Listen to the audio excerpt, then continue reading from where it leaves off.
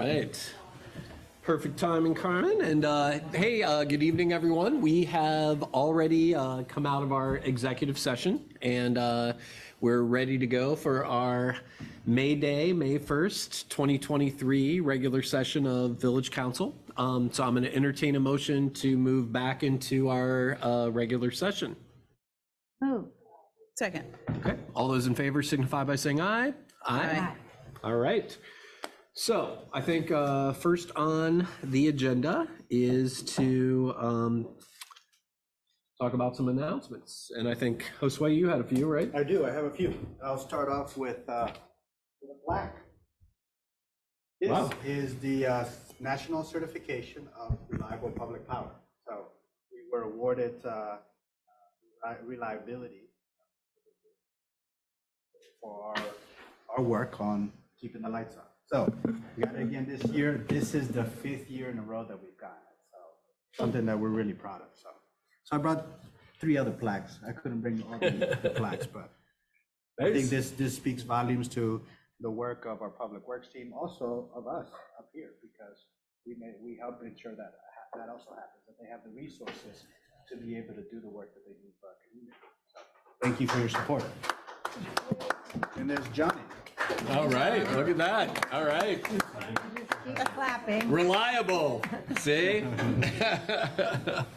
All right, that's the, that's the first announcement. Um, The second announcement is that, uh, do you know what today is? Today, in addition to May Day, is the Yeah. first day of spring cleanup. Oh. So that means you can put out all your treasures uh, for other people to find, and if uh, they don't take it, then Rumpke will. So we have instructions on our website, on social media, on the rules to follow for spring cleanup, so check them out. Okay, That's it. great.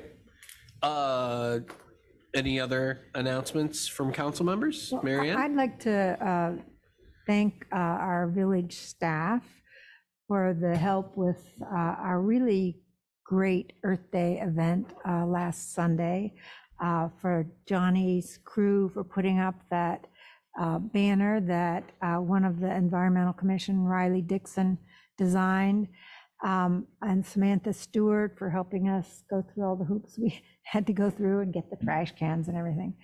Um, And also Catherine Zimmerman, who's uh, on the Environmental Commission, and Bethany Gray, who's with the Habitat team. The two of them really put the, the thing together. I hope I didn't miss anyone, but it was a great event, and so I want to thank everyone who was involved. All right. Yeah, thanks, Marianne. I, um, I thought Earth Day was amazing. I appreciate all the support for uh, Celebrate Trails Day as well. Sorry that it was uh, not as uh, temperate as we would have liked. So I know normally we get a lot more folks, but it looked like you guys had a lot of fun. Um, I actually forgot to bring long pants, so I was in uh, northern Indiana doing my event and uh, freezing my butt off, but uh, it was also fun. Um, so I did want to mention a few things. Um, I guess first of all, uh, yeah, I, I also I know Riley uh, probably doesn't mind hearing again. I like his banner. He did a great job, and uh, Earth Day every day is uh, is really nice. Um, I also, uh, you know, we talked about yeah, May's got a lot of things going on, but May is Bike Month, and um, I know one thing that's on the calendar is on May seventeenth is Bike Walk to School Day in Yellow Springs. So uh, everybody, uh, you know, make sure to be extra careful if you're out and about uh, in a vehicle on May 17th. And I'm sure we're going to have like our team there, and we've got a lot of other folks that support that event. Um, we also, um, yeah, kind of a really cool thing that maybe some of you guys know about if you are on the Yellow Springs Community Foundation emails is um, there's a film festival that sounds like it's coming to town. And um, I'm really excited about the opportunities, uh, you know, and this is not just the little art, but there's talk about um, having some outdoor venues and some smaller venues. Um, I'm going to be curious when we get to the manager's report, what we're thinking about with Short Street, because I think there's some other like opportunities there, but that was one thing that was mentioned. Um, also May, um, this is the first day of Asian uh, Pacific American Heritage Month. And um, this is something that's really important and significant to our village, um, highlighting our uh, goals around diversity. Um, I wanted to, yeah, maybe I'll come back to this. Oh, Jalen Rowe's birthday is today.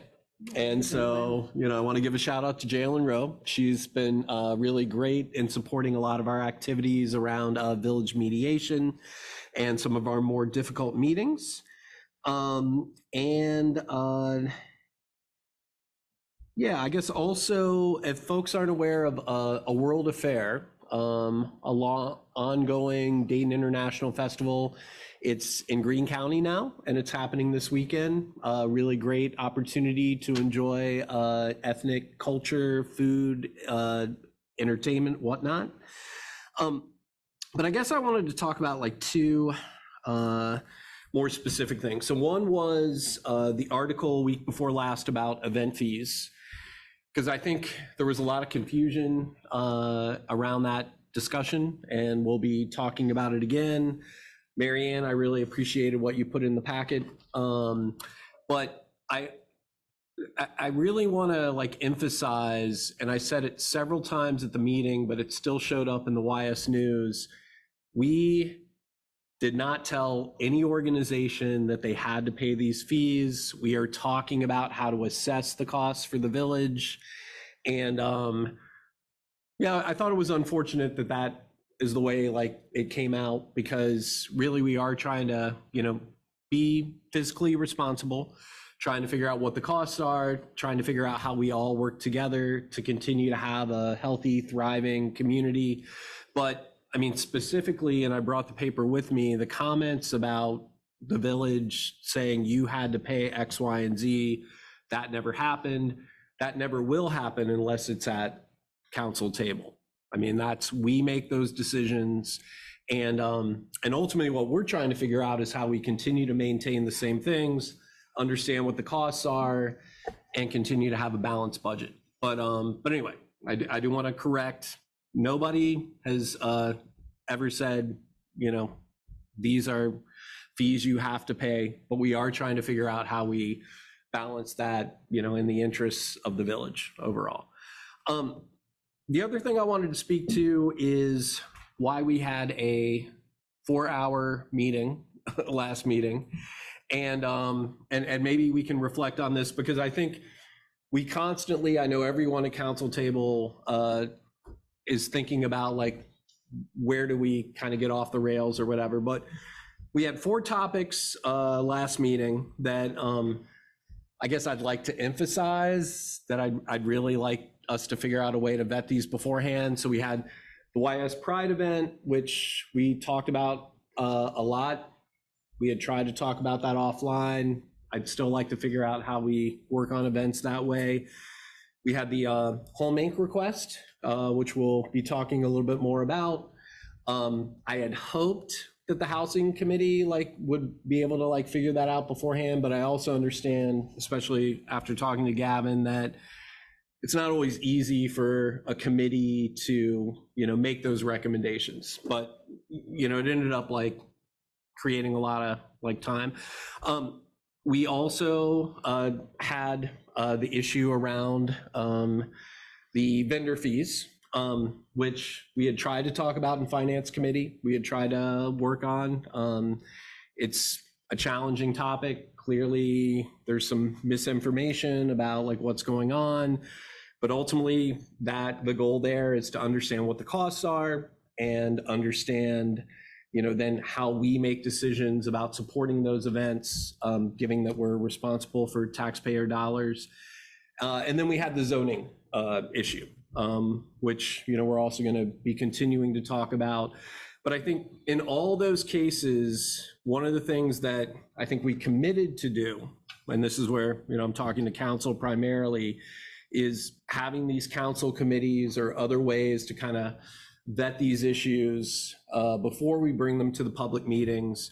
Um, but I think we've got some other options as well. You know, we've talked about work sessions. Um, I know uh, Josue has made a recommendation that maybe we have a standard like 30-minute work session before every council meeting where we dig into an issue.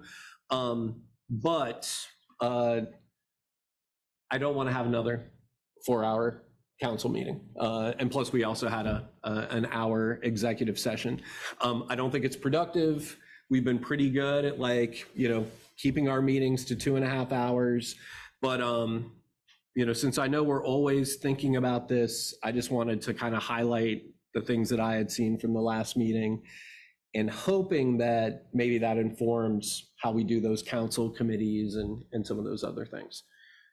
Okay, so that's a, a lot of announcements. Anything else before we move into the consent agenda? Yeah, oh, We have an Announcement from on the floor. I had suggested maybe they- they've got a quick one and they might not want to wait all the way to citizens' concerns. okay. It's, I- I mean, if you're quick, it's All better to do it now. Come on up, yeah. If Ju, if Judy made, laid, laid that out, go for it, yeah. The crowd is on your side. Go right ahead. um, hi, my name is Izzy, and we're sorry we're getting our new flyers tomorrow. All right. Um, I am a student from Antioch, just down the street, um, and as well known, uh, we often can be pretty surprising. um, but I promise I bring good news. Uh, so a while ago, uh, us students were sitting and talking, and uh, were of the opinion that for everyone uh, in the world, honestly, these last few years have been pretty rough, um, to say the least, since the pandemic and everything. And we've really wanted to find a way to help everyone as a community, not just on our campus, but everyone Oh, sorry. come back together just to do our part. Uh, so we had the idea of running a community festival to invite everyone who wants to come to just honestly come and have a good day. Um, so came to be the Antioch Victory Festival, which name derives from our motto, which is to win one for humanity. Um, and so I'm here to announce that we have been working very hard and we'll be hosting our festival, which is totally free to attend, on Saturday, May 20th from 11 a.m. to 7 a.m. We have a lot of really cool activities lined up from a raptor show to visiting our farm. Um, and it will be inside the Wellness Center. We have booths available and activity space available as well for uh, community members who are interested. We're going to have food trucks and are working on having a restaurant off where the idea is uh, the restaurateurs are bringing samples uh, of their food for the community to try at no cost as a donation. Um, and you know, works for them, works for us. Everyone loves to eat. Um, but if you're interested in coming, please do. If you want a table or to run an activity, we'd love to have you. We're trying to reach out as much as we can. Um, we're going to have a website that will go fully live uh, by midnight tonight, which will have sign-up sheets, and that's victoryfest.net. Um, but yeah, we're we just want to invite everyone. If you'd love to, if you'd like to do anything at the festival, just reach out and we'll get you set up. Thank you, Izzy. Thank you. Yeah, thank you so much. And um, we can also help promote that on our village Facebook page. Um, so uh, are you connected? Thank you. That's cool. Uh, are you connected with Philip O'Rourke? Um, we have not spoken yet. Okay. Um, I am interested in using them. though. If okay. you could send me Yeah, that or as here's- PDF, then You can we'll get email it. me as well. Um, but yeah, we'll get that on our Facebook page and uh, exciting. Yeah. Okay. Um, any other announcements? Okay, so we're going to move into the consent agenda, which are our mi- minutes from the last meeting. Um, so I'll put that on and uh, can I get a motion to approve? Move. Second. Okay, so I think, Judy, we decided there was one change, which is um, when we talked about the YSDC piece, um, it had said the RAISE grant, which is one of the grants we're after, but there's also the RISE grant um, without the A. Um, So we are, uh, um, I'm making a motion to update that. And also, I think we, we have Lisa Abel's name spelled correctly. Um, So I guess, uh, I guess, I guess I need to, first of all, ask for, um, You actually gave me the corrections ahead, okay, so we're good? So So we can just vote? yeah. Okay. So all those in favor? Yes. Marianne, something else? Okay. Signify by saying aye? Aye. Aye. All right. Any opposed? Okay. Uh, review of the agenda. Anything we need to add, uh, remove, or modify? Yes, I have two- Okay. two things. Um, I would like to have some time under, I guess, new business, five or 10 minutes, for us to discuss work sessions and start, uh, well, one, to ascertain whether council agrees to do that, and then start planning for that. And um, in the manager's report, and I've, I've spoken, or I've emailed Josue, I'd like for there to be a discussion about the Fairfield Amen, what, how we might proceed about that. Okay, that sounds good. And I may add to your work sessions thing, um, I kind of had a note about council committees based on what I was saying earlier, so those might kind of come together. Um, okay, anything else on the agenda? Okay, all right, so, uh, Judy, I guess, uh, we're gonna have you do petitions and communications. I'm set. All right, Uh, So there's a letter from Elaine and Keith Kresge op- opposing the zoning code change, but actually sort of agreeing with it at the same time. They were hoping that one could simply create a duplex out of a single house, and that is in fact something that you would then be able to do. So, um, uh, so I think there's more openness to the idea there than they might have thought that there would be. Um, There was a card sent from Leslie Schaefer, which was extremely sweet. You should read it if you read the packet, because she could not say enough good things about Denise Swinger and Johnny Burns saving her yard from becoming a lake instead of the pond that it normally is. Um, John Hempfling sent, sent an extensive letter detailing opinions on conditional uses, some which um, he uh, was more in agreement with, some that he thought were more helpful, some that he thought were less helpful. Um, That's fairly detailed. Uh, Marianne MacQueen sent in a memo addressing multiple subjects, so she addressed several things that uh, went on in the last meeting, and that is also a pretty useful memo, uh, and it may get referenced under different topics this evening. And then Matt Raska sent uh, a very kind uh, note appreciating staff's work with the Neighbors for More Neighbors group uh, in making zoning amendments. all right, thanks, Judy. Um, so this actually reminded me of what we got from, uh, Chief Burge, which is on the table. Um, is this something we need to add to the agenda because it's urgent? It is a resolution. She, we, she just had not had time to correct the memo. Okay, so this, prior to the- okay, okay, so we've got this memo now. Gotcha. Okay. Cool. All right. So then let's go ahead and move into uh, our very extensive uh, legislative agenda. All right. And uh, we're going to begin with, um, okay, so actually, let me think about this. We have one second reading.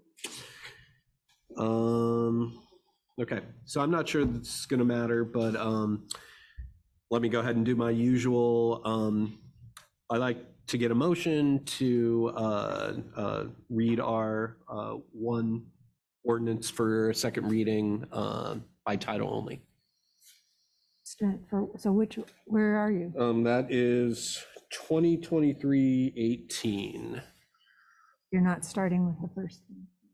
Well, we normally just, I normally just do it at the beginning of it all, so. The full reading is not required in the first read. only in the Second read, hence the motion on the second read.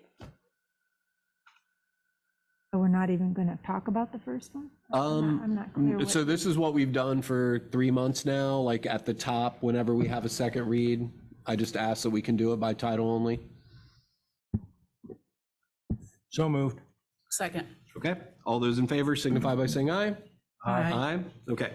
Well, we are going to talk about uh, 2023-17 first of all, and uh, we can do that by title only. Right, this is repealing and replacing chapter 1242.04 annexed land of the Yellow Springs zoning code. Okay, can I get a motion? Move. Second. All right, okay. So you may remember at our last meeting that uh, we modified uh, this to enter annex land uh, automatically as RC instead of RA. Um, We seem to get support from that, but because it was a substantial change, we started back on the first read. So uh, Denise, Yeah, I, I don't have anything to add to that. Staff is fine with that. okay, cool, all right. And we appreciate that. Um, Yeah, I think uh, as Denise said last time, it fits with our goals around uh, density. Um, So, um, questions or comments? Okay, um, all right, let's go ahead and do um, a vote. All right, MacQueen, Yes. DeVore Leonard, Yes. Brown, Yes. Pausch. Yes. Thank you. Okay. And uh, next of all, we'll do 2023-18 by title only. This is repealing and replacing chapter 1248 residential districts of the Yellow Springs zoning code. All right, can I get a motion? Moved. Second. Okay. And this is part of why I paused because, um, you know, there, there are some thoughts on the table about whether we table this.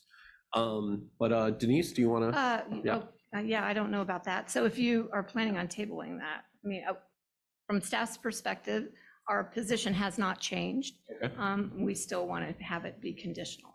And do you want to talk a little bit about that again? I would rather have Amy talk about that because I Okay. feel like I talked about it too much last time. All right. So Amy can kind of give you um, an understanding of conditional. Okay, great.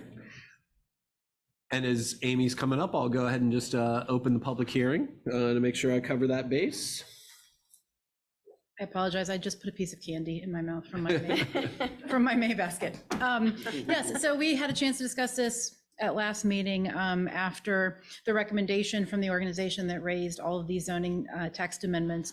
Planning Commission weighed the pros and cons of how to make that work and um, in the end settled upon multifamily being a conditional use in a single-family district. And that was the recommendation that's come upon you, come up to you from Planning Commission. Staff, of course, supports that. There's been a lot of discussion um, from Johnny about infrastructure and the conditional use process, how that plays into that. Um, And then also, of course, um, the discussion about how Planning Commission felt like it was a way to, um, you know, get the full review of every project through the conditional use process without it being um, simply permitted and then on staff's desk. So I'm happy to take any questions that you have or help you as you work through it. Well, I guess since you're up here, um, so I guess the two things on my mind are, um, you know, number one, um, whether the, you know, kind of institutionalizing the, uh, uh, utility review, um, covers the concerns. And so again, like, I don't know, that might be where Denise or Johnny might want to come back. So that's question number not one. Question number two is, um, and this probably is more for you, Amy, is can we put some of these things in our zoning code so that we don't need a conditional hearing? So playing through um, the hypothetical of this happening from beginning to end is, you know, a property owner owns a single family lot. They decide, or owns a lot in a single family um, zoning district, decides they want to put a two-family, three, multi-family on it. Then where do they go from there? We know um, council has a utility review coming in front of you. Actually, we're going to talk about it yet tonight. So there is a utility, mandatory utility review that's going to be added to the code. So yes, those utilities will have an opportunity to be discussed at that point. Should you make it a permitted use, it could go right to that utilities review. My concern there is then what? Because there's going to be a conversation between staff and this property owner who wants to make the change. And if staff says, okay, this is, um, you know, permitted use, you're free to do this. However, it's going to cost whatever, $50,000, $100,000 worth of infrastructure improvements to get from point A to um, B. And the property owner says, well, I have a, you know, I don't know that that to be true, or I don't, or there's some kind of um, standstill at that point, right? Where then we're, then we have no resolution for that property owner. There's no meaningful way within the village for them to pursue, um, you know, the next step of that. If we have a conditional use process, it happens in front of planning commission, and then it becomes in front of council. And then, of course, there's an immediate appeal to common pleas court, um, which is, conditional uses are very unique in that regard. Conditional uses and variances in that they can be appealed in that way, which is a pretty quick streamlined um, approach for a property owner to resolve something with their community. So I see you value in a utility review, that should be passed, I think that should be enacted into the code regardless. But the conditional use for this process is helpful because it allows for that, for the whole picture to take shape before any um, project moves forward to know exactly how it's going to work on a particular lot, what it's going to mean for infrastructure, um, all, you know, and what it would mean for wastewater and, um, you know, there's been a lot of discussion about stormwater lately. So what stormwater concerns there could be, there'd be a way to mitigate and address those up front. Um, Conditional use processes, when done properly, can operate as a mediation, happens in front of planning commission, right? And there's, um, the whole project can be viewed and all the details can be worked out um, in a measurable, meaningful way. If there's a plat, a single-family plat over the property that we're talking about, then there's a condition that the property owner, it's incumbent on them to deal with their HOA or neighborhood association or whatever the entity may look like.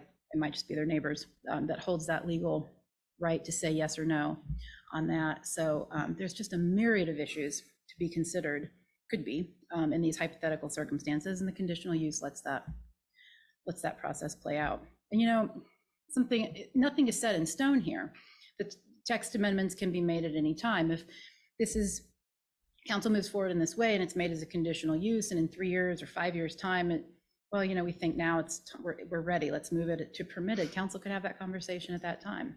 There's nothing to stop you from initiating another text amendment in the future. Um, once we can see what the utilities review looks like, what multifamily or two-family, whatever it may be in single-family residential looks like, um, you know, the conversation doesn't have to stop there. It could happen again in the future.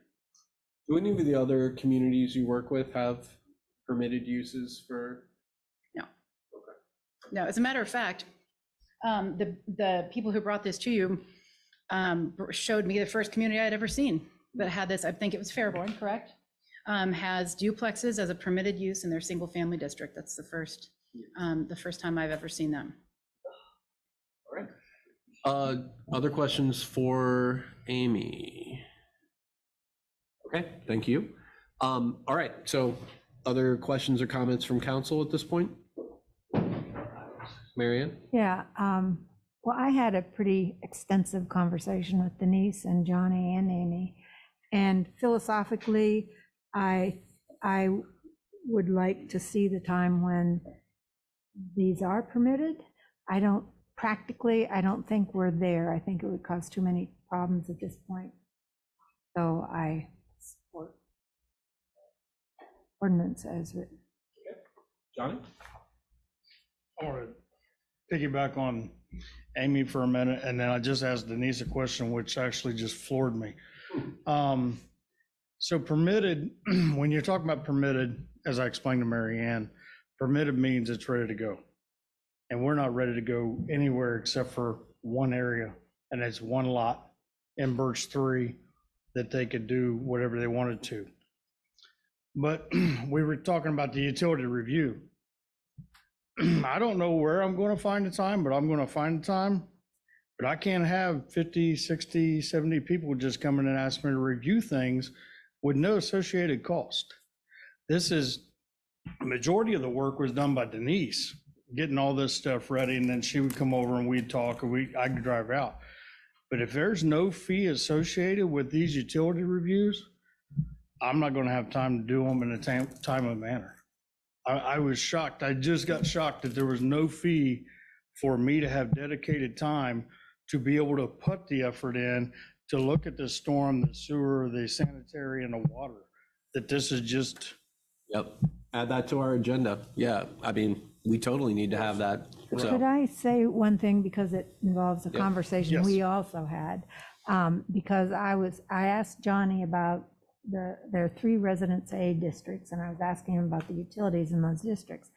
And I came away from that co- conversation feeling that uh, we have utility issues, whether it's sewage, water, stormwater, electric, that's it, I guess, isn't it?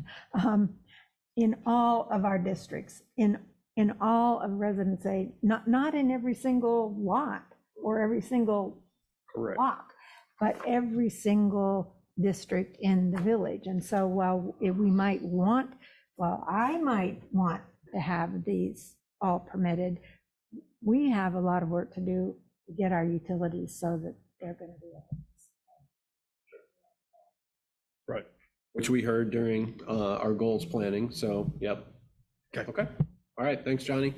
Um, Any other council stuff before we, okay, um, citizen comments, Mitzi?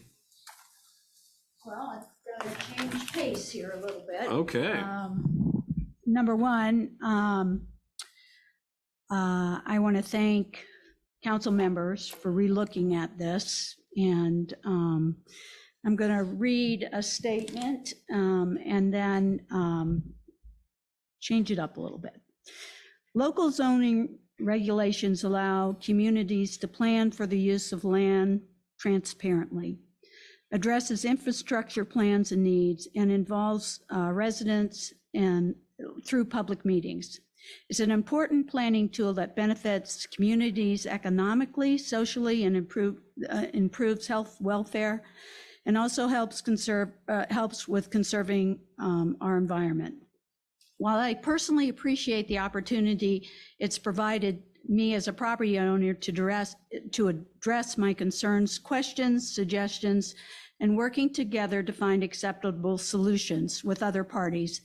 This has uh, been demonstrated in many ways. Um, I can remember a planning commission meeting where Home Inc. and residents on Xenia Avenue um, met together and uh, brought up their concerns about water retention, drainage, uh, fire and safety, and parking issues. And through that meeting, there were rel- resolutions made. I hope council will think long and hard about um, the input and recognition, uh, recommendations uh, from their planning commission um, members, um, the zoning director Denise Swinger, Johnny Burns' insight regarding infrastructure, um, impact and needs, and, and of course, the citizens of Yellow Springs' history of being active participants in these processes. I suggest a town meeting be held, but it doesn't seem like that's going to need to happen.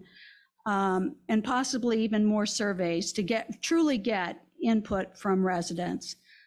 Uh, While I realize some council members have made it clear and advocate for alternative ordinance to um, make our allowance for more liberal development in RA areas, um, I really appreciate this being tabled at this time.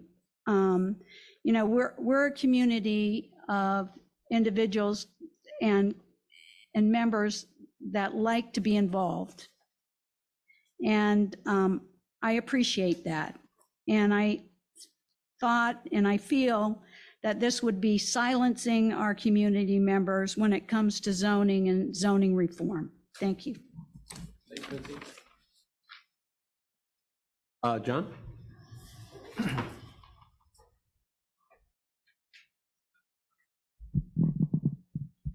Hi, I'm John Hempfling, Yellow Springs resident.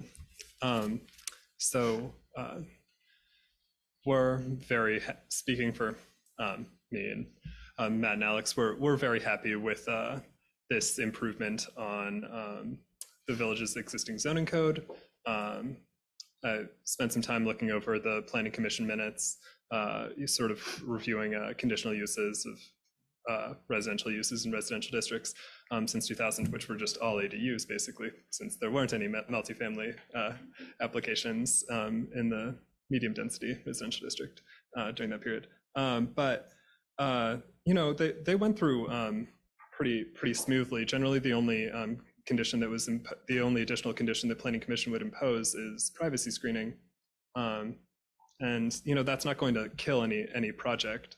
Um, and I, I imagine that would be pretty similar, I think, for uh, duplexes and probably townhouses in um, in the uh, low density district after this is um, adopted. And um, I, I guess I wouldn't even necessarily expect that planning commission would uh, necessarily reject multifamily um, uh, applications either.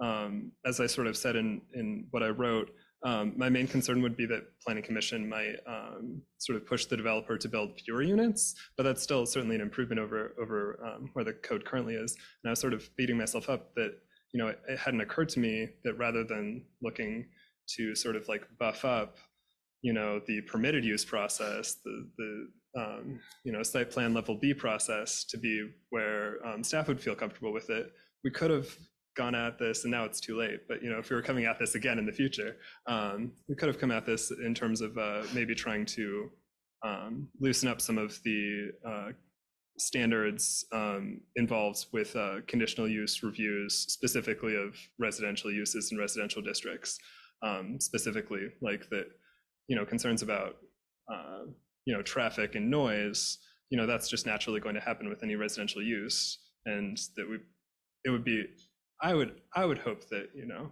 ideally that planning commission wouldn't uh, use concerns of traffic and noise to sort of push a developer to build fewer units. Um, but in any case, I'm I'm very happy, and I hope that all of you feel good about um, this, and I hope that it passes tonight. Thank you all very much. Thanks, John. Okay, any other questions, comments? Okay, so I'll just say a few things, uh, but I think pretty clear where we're going. Um, Utility review, critical, and we've heard about this forever, and um, yeah, we, I mean, I want something on the agenda to, to fund, you know, to attach a fee to that. I mean, yeah, we definitely, assuming, Amy, that we can do that, I would think we can. Second thing that this discussion reminds me of is that I feel like we need to lock down our zoning code. Um, and so uh, I'm compelled by a lot of the things that um, the neighbors for more neighbors and other folks have brought up around that we should be able to spell out a lot of these things in our code. Um, I also think uh, I don't want another Oberer or any other situations. The more that we can like indicate in our code what we want in terms of affordable housing and other kinds of things, I'd love to see that happen. And so uh, I guess that's a shout out to our planning commission, but I, I think, um, I think we, you know, I, I definitely think there are things that we can do that would help to make conditional feel like less of an obstacle if it was spelled out. And so that was one of the things I took away. And the last thing is, I guess I do believe because you know the American Planning Association and like everybody else that's an expert in this area like has highlighted that anything in the process is an obstacle. And I understand that um you know Yellow Springs approaches it in a great way, but at the same time like I was in that meeting with John where St. Mary's was talking about Yellow Springs NIMBYism and uh, and the fact that you know basically developments come to Yellow Springs to die. Um, you know that's that's upsetting to me. On a lower level, it reminds me of when I found out that we were a dog unfriendly community, and we uh, you know we created a dog park, um, and so totally different things. But you know it shocks me to be in a meeting and hear that Yellow Springs is considered to be uh, NIMBY. I mean, that just doesn't make sense. So I believe that these are obstacles. Again, I think um, we do a great job. I think more clarity in our code makes sense. And I had some other notes here. Yeah, I mean, I, I think in general, um, we need to continue this conversation. But um, but I'm encouraged to hear John say that uh, you know we're on the right track, and I do agree for now with this resolution or with this uh, ordinance. I don't have a reason to not keep it conditional. So I mean that's where I'm at, you know, and I kind of put the task out there. I think Matt Raska wrote uh, a great letter to the editor um, around you know conditional versus permitted, but I'll just say I'm open and I think, uh, you know, the single family housing thing is hugely problematic. And I'd obviously, I, I honestly agree everybody should have to come conditional. I mean, you know, based on even Mitzi, what you said, like, I'd love for every like project to have a discussion so that we can all like work on these things. Um, but I think we'll work on that and uh, I appreciate the conversation and I think I've said enough. Anything else? Okay. So then I think we're ready to close the public hearing and uh, take a vote. Uh, Judy? All right, Brown, Yes. DeVore Leonard, Yes. MacQueen, Yes. Housh. Yes. Thank you. Okay. All right, next up, we have ordinance 20, 2329. Um, we can do that by title only. 20, 23, 20. Oh, 20, sorry. This is repealing and replacing chapter 1250 business districts of the Village of Yellow Springs zoning code. Yeah. Can I get a motion? I move. Second. Okay. And I think Denise, are you kind of talking about like, there's Yeah. several amendments that we're making here, right? Yes, this, this one in the business district is um, simply to make the uh, dwelling units on the upper floors where you have non-residential below to be permitted rather than conditional. That's it. Cool. Um, all right. Any questions or comments? Okay. Um, yeah, I don't think we need to take a vote at this point, so I think that one looks good. Um, all right, so let's do, uh, ordinance 2023-21 by title only. This is repealing and replacing chapter 1252 industrial districts of the Village of Yellow Springs zoning code. Can I get a motion? So move. Second. Okay. Denise? Okay, so in, in the industrial district, we did not have a residential section. So we added a residential section, um, allowing dwelling units in buildings with non-residential uses. We're not um, saying whether it's upstairs or downstairs. Um, It will just be, because it's a conditional use, we can really look at if it's safe, where it's going to be. You know, you don't want uh, an apartment and then have a toxic waste something below, you know? So we just want to keep that conditional, and uh, zoning group also agreed with that. Questions or comments? Okay, looks good. All right, so then let's go ahead and do uh, ordinance 2023-22. This is repealing and replacing chapter 1258 schedule of district uses of the Yellow Springs zoning code. Can I get a motion?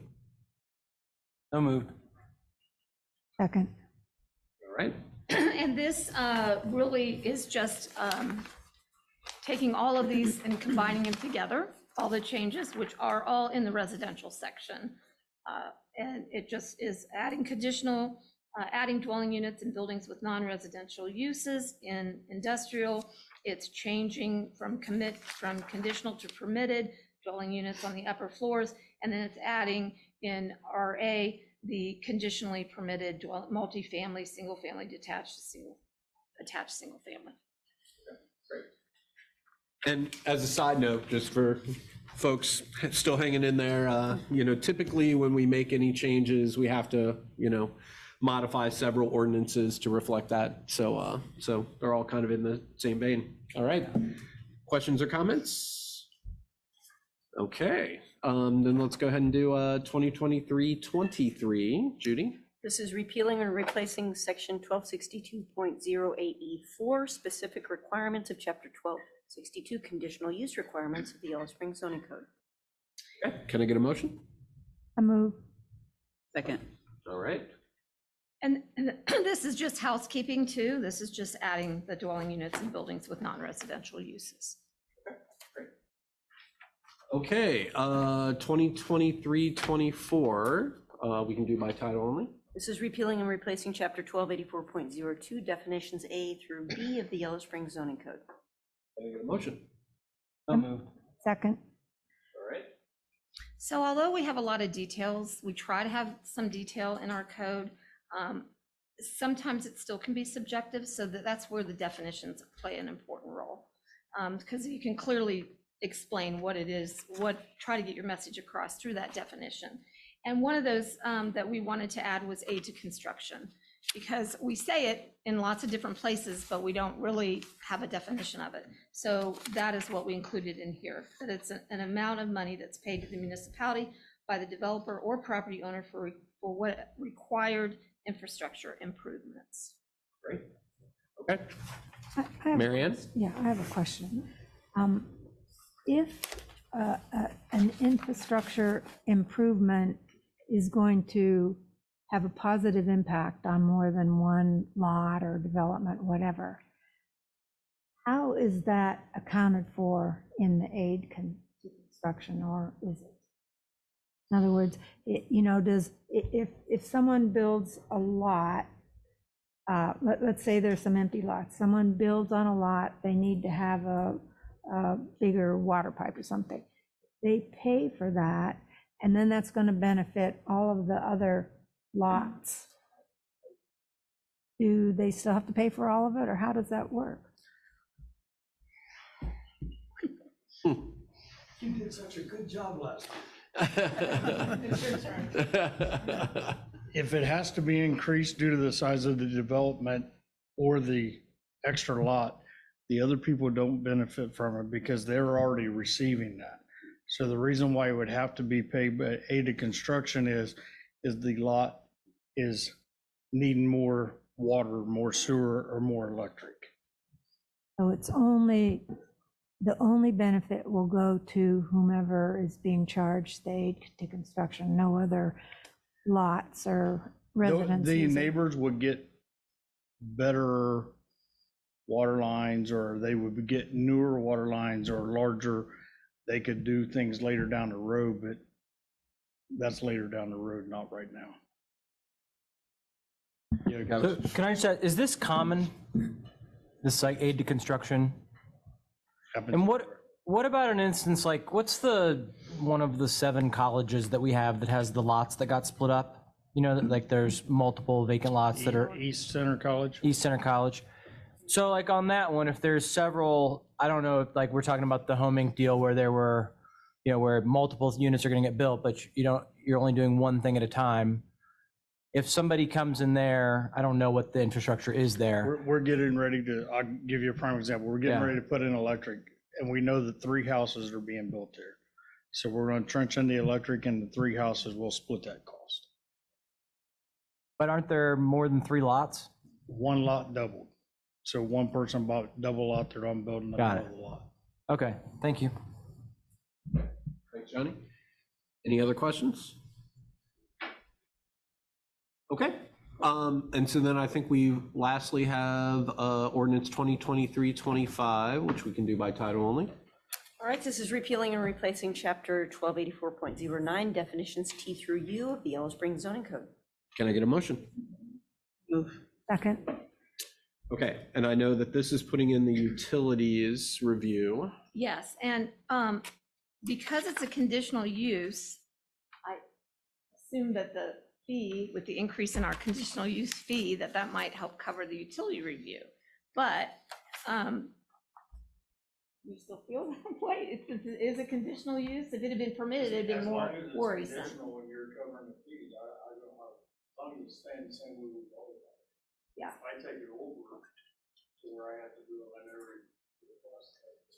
Right, would see, and that was another worry with permitted, that people would come and want all utilities review for something they may or may not ever do. So what's the fee range now? I can't It's now remember. 200 Okay, so 200 in general? for a conditional use hearing. Okay. Well, we, you know, we don't have to decide tonight, but you guys think about that and decide if we need to. Yeah. if Because it wouldn't be, it wouldn't be hard to make It would end up being on another, it would be on the zoning fee schedule. We'd have to add it there. Okay. So it wouldn't, it would, we wouldn't want to put it into the definitions anyway. So I think the definition is good Yep. and solid. It's just if you want to do a fee, then we would put it under the zoning fee schedule. New service. Hmm? There'll be a new service. Under those. Yeah. Um, Well, I mean, um, my guess is that you would get support to uh, make sure we're covering that. Um, Yeah. Okay, questions or comments? Okay, thanks Denise. Um, So I know we ran through like several pieces of legislation, you know, again, like these are about trying to expand um, the abilities for uh, folks to uh, get their projects done. So I don't know if there are any citizen comments at this point. Um, But remember, these will all have second readings with public hearings at our next meeting and, uh, and there'll be an opportunity to speak then. Yeah, Denise? And hopefully we'll cover that next meeting. I Okay. I'm- I won't be here. I mean, I'll be on a long, like, this is planned for a while, so I'm not gonna be here on that. Okay. But that's not, that doesn't mean this is your last meeting, right? No, no, Okay. no, no, no. All right. I- That's why I was like. It means you get me next. Okay, all right. Yeah, that's it. She's like, I'm done. Um, okay, so any other comments at this point? Um, yeah, I think these are all good things, but there will be plenty of time to comment. You know, I just want to say some last, uh, thing, I guess, to you guys. Um, you know, I heard that maybe there was a feeling that staff was being disrespected around the zoning issues. I mean, I, I just have to say, um, you know, probably that comes back to me. I am, you know, always open to hearing all the comments. Um, I hope you guys feel like, uh, all of council listens to staff. I really think we do. And, um, and then I also want to listen to new ideas and whatever. So I just want to make sure that, um, you know, we can think about it more as like having discussions that, you know, make things better for everybody. So sorry if you, uh, if I created that, but, uh, but again, you know, my perspective is I want to absorb everything and then make the best decisions. So thank you, guys. Okay, um, so I think then we're going to move into, uh, our resolutions. And first of all, we've got, uh, 2023-32, which we can do by title only. And this was amended slightly, that amended version was put on the table. Um, There was a slight change made to the title, and I, in fact, had the sewer relining date incorrectly uh, stated there, so that's been corrected. So the corrected title is approving a grant to Yellow Springs Home, Inc. for funding for Phase One, eight rental units of the Cascades Affordable Housing Project. Okay, Can I get a motion? I move. Second? Okay. Um, so I think this was laid out pretty well at the last meeting. I don't know, Josue, do you want to outline what the, Uh, sure, sure. are- I, I- in, uh, in alignment with the conversation that we had last council meeting and the memo that I submitted, that this, uh, this resolution is before you, it honors that initial request of committing forty thousand dollars from the Affordable Housing Fund for Home Inc.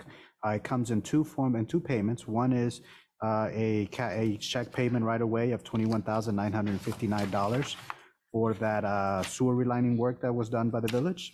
And then the second payment would be eighteen thousand forty-one dollars that would be dispersed upon, upon successful award from the Ohio Finance Agency uh, for the project. The, doing it this process, and as, you- as you, you may recall from the last council meeting, doing it in this pro, in this method allows for Home Inc. to book the revenue on their end and also book the expense for the project. So they'll be able to do that uh, immediately upon our issuance of the twenty-one thousand nine hundred and fifty-nine dollars and when we do that second payment, uh, when the grant's awarded. okay, Okay. all right. And of course, that's uh, coming from our uh, designated affordable housing fund, Correct. um, which I'm happy to see us using. So uh, questions or comments? Okay. Uh, Any questions or comments from citizens? All right, all those in favor signify by saying aye. Aye. Any opposed? Okay. So then we'll move into uh, 2023, 24? 33. Oh, yeah, you're right. Okay, 33. We can do that by title only as well. This is approving a tap fee waiver to Yellow Springs Home Inc. for the Cascades Affordable Housing Project. Can I get a motion? So moved. Second. Okay. Um, You want to talk about this one as well? Sure, uh, this is uh, uh, providing uh, up to $50,000 of tap fee waivers for the first phase of the project. Um, The only uh, item here to, to leave open is, is that we're not sure what the final tap fees are going to be because there's engineering works that needs to be done. Johnny had connected with uh, our engineer and our, one of our contract on that. um, But we're hesitant of discussing those details because we need to wait from Home Inc. to uh, share engineering with us. So Johnny, I don't know if I missed anything from that. Uh, So that's what this covers, up to $50,000 of tap fees for the first phase, which is eight rental units. Johnny, anything to add? Okay, uh, questions or comments? So that was one of the things, uh, the last thing the Josue just said that, that I was thinking about with this resolution is that um, it probably makes sense to, um, uh, to amend it to highlight that it is for those first eight units. And um, actually, I talked to Emily, she gave us some language. Judy, do you have that handy or? Um, well, in the, you did not amend the title. You suggested amending it, and that does change the resolution, modify it to approve a tap zoning and permit fee waivers for phase one, eight rental units of the Cascades Affordable Housing Project. Mhm. So if we, you feel like if we adjust this to highlight the, the eight units, that that's a substantial change?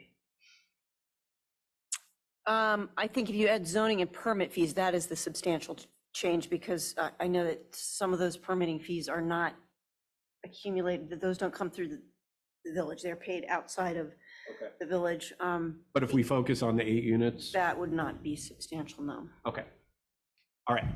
So I think I'm gonna, uh, uh, make that motion to, oh, Johnny? Yeah. When you say the eight units, I just want to clarify, if it's for the eight units and they get their engineering done and they come back with a 12 inch, like I suspect they're going to, that tap fee for a 12 inch, even though it's only going to feed the eight units because they're, they're building it for the 22 units, that tap fee is actually $260,445 just for the sewer. So are we only giving them fifty thousand? And then they've got to pay the other money? How are we doing that? Because they're not going to put in just a six inch, or they're not going to just put in a four inch for eight units. They're going to want to build it for the twenty-two. So are we just?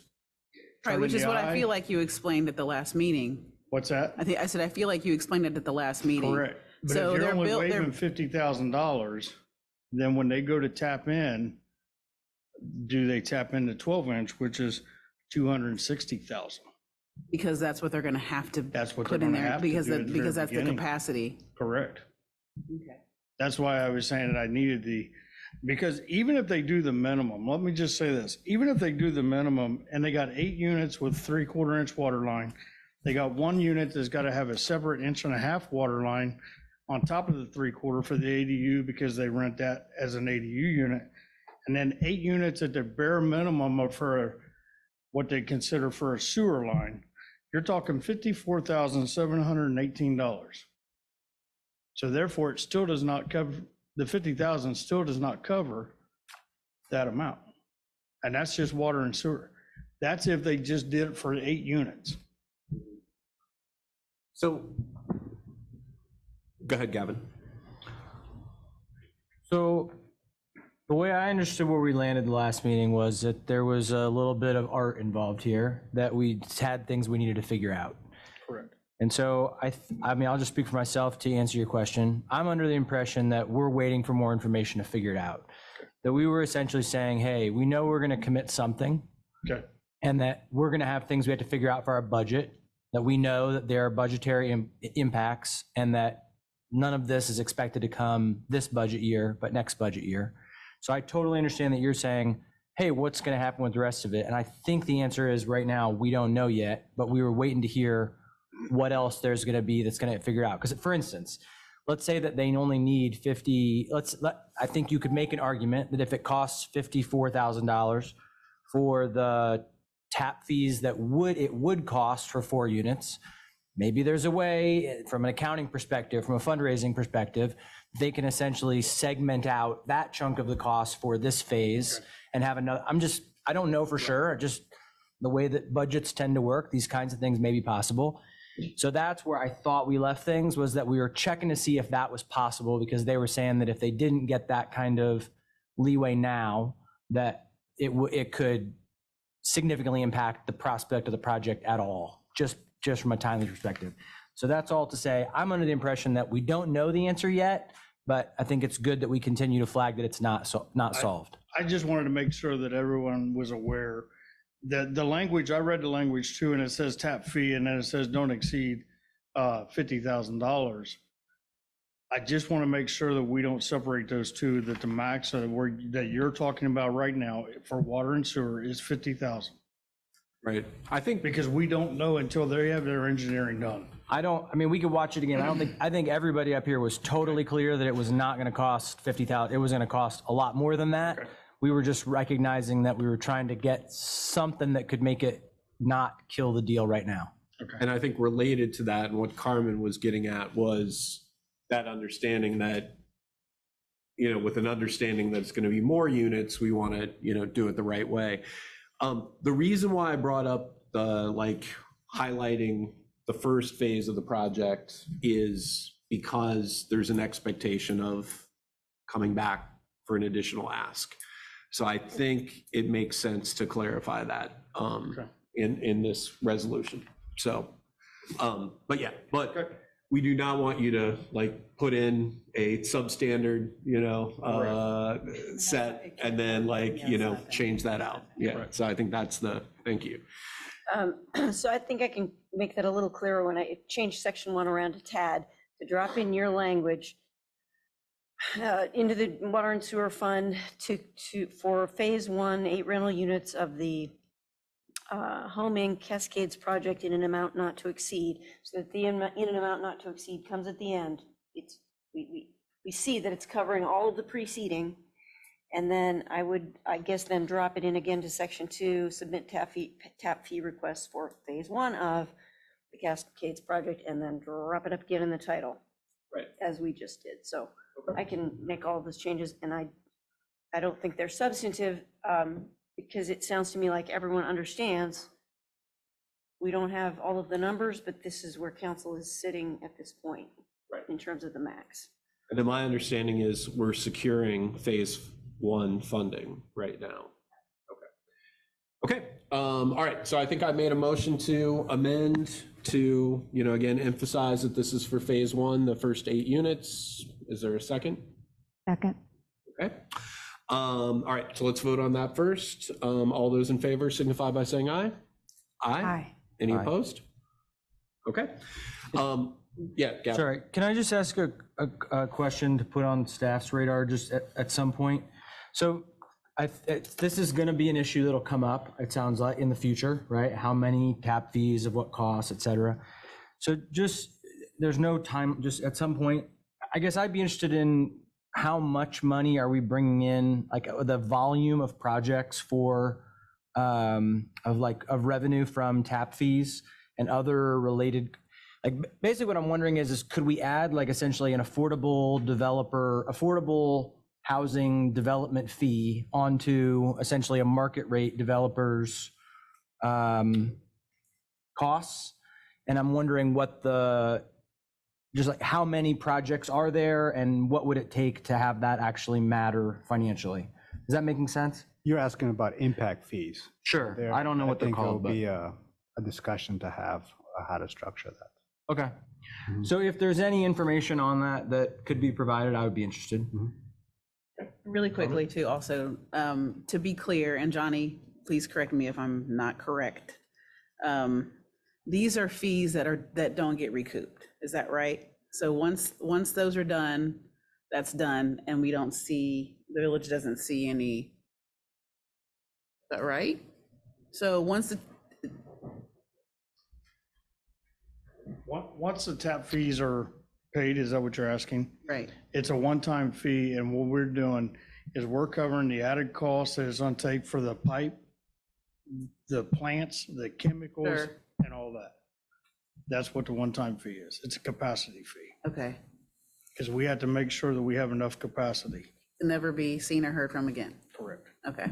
Well, I mean, I I mean, sorry, I'm sorry that I, that I said it that way, but not really. I don't think it was bad to say it that way. Yeah. See, I mean, I think the laugh was just like, that's the hope, but Yeah. maybe not the reality. Right. okay. Um, Definitely. not Right, the that sewer line is gonna need maintenance. uh, Mitzi, come on up. Uh, Mitzi Miller, uh, resident of Yellow Springs. Um, I realize that, you know, we've given Home Inc. 30,000 last year, 40,000 this year, and we, through the Affordable Fund.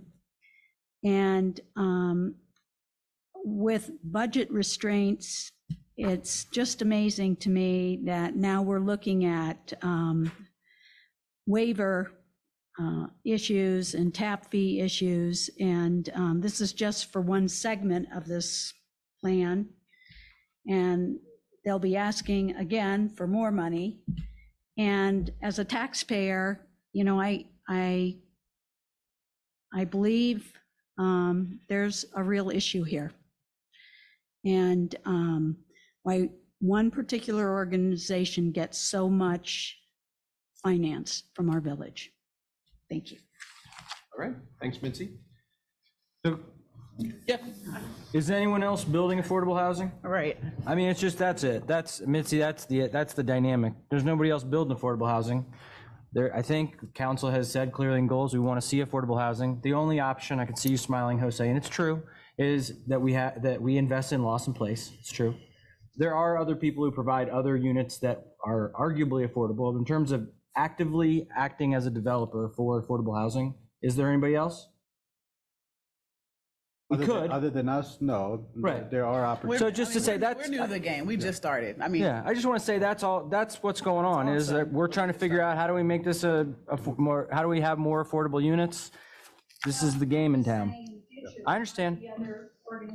If they, we would love, Yeah, they're we would welcome love to hear more come. projects. I know, I would love to hear about more affordable housing, housing If- projects going on in the If was a village. fifth.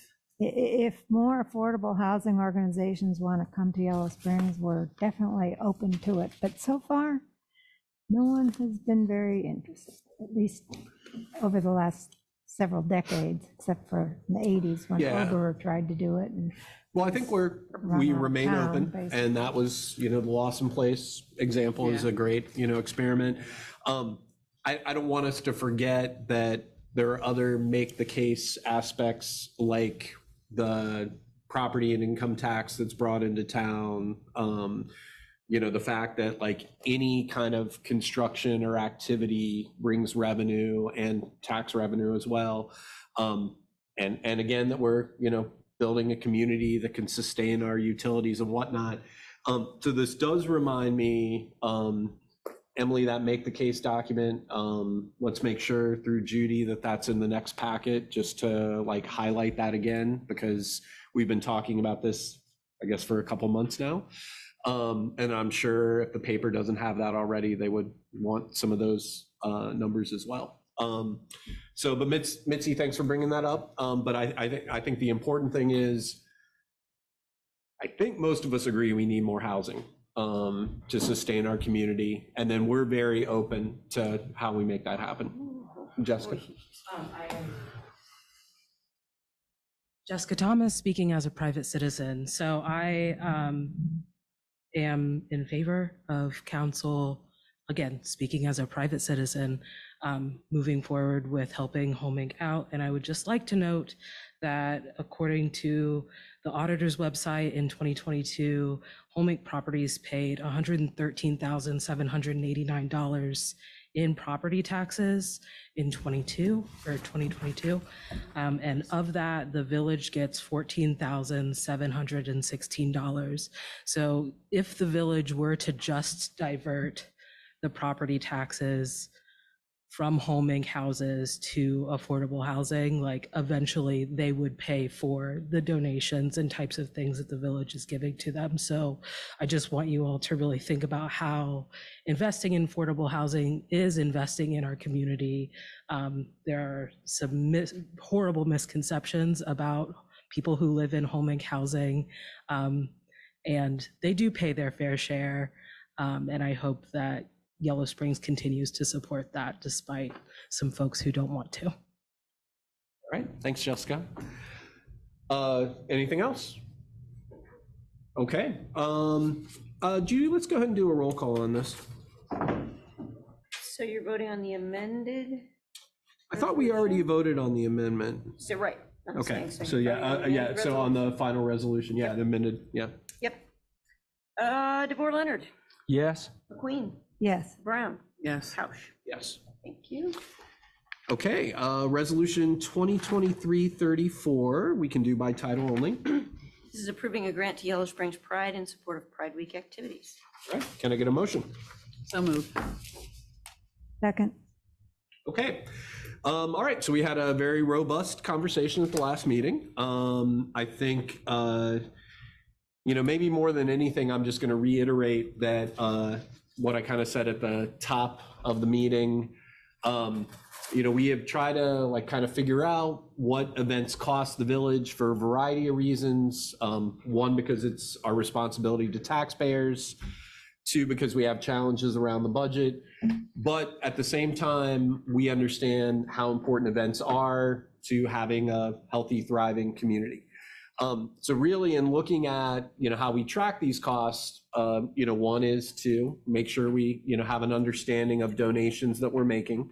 Uh, that hasn't changed our practice from supporting great events like YS Pride or um, June, Juneteenth or um, MLK Junior Day or Street Fair or whatnot. Um, but at some point, maybe we'll keep it for the next meeting. I do want to talk about um, process was brought up at the last meeting, and um, I think the process is pretty simple. I mean, I, I guess if you're having an event, you have to get a permit. So that those permit instructions can highlight, you know, some of the things around uh, vendor fees and some of the other things that we've like brought forward. You still come to village council and ask for a donation to your event. And so my understanding is um, Street Fair hasn't done that yet, but I think we're going to have that happen at the next meeting. Um, so again, I think we should have like a process for all these events where we understand what the cost is, we get a request to support, and then that also helps the organization understand how the village is sponsoring that event. All right, so um, so I think in this case, uh, we've kind of indicated for YS Pride that um, the cost to uh, manage that event from the village side are, are well above five five thousand, um, and so I think that's where these funds are going to go. I don't know that we need to get granular about that. Um, and again, um, you know, I think just in terms of that, like request for a process, we can, I don't, I don't think it's that complicated, but I think we can get that together for folks in the future. So they just know, like, fill out your form, ask council if they can like support at what level, and then go from there. Did you want to? No, it's just, I was going to reiterate part of your message about the process, that in the past years, when we have made such sizable contributions, we've had it here at the council meeting. Uh, But moving forward, we are looking at streamlining the process and have it be detailed as possible. Just last week, uh, and, and again this morning, connected with Paige about coming back to council with a draft ordinance. In fact, I was waiting, during my manager's report, I was going to talk about the Special Events Committee, and I will request that we have a council member join that Special Events Committee and a citizen, so that we can have all the inputs as we bring forward an ordinance and all the, the procedural aspects of implementing special event protocols, special event planning, and associated fees and costs to that. So uh, we, we've certainly been talking about it for, for a while. We're trying to streamline the process, and I think we'll end up in a better place overall.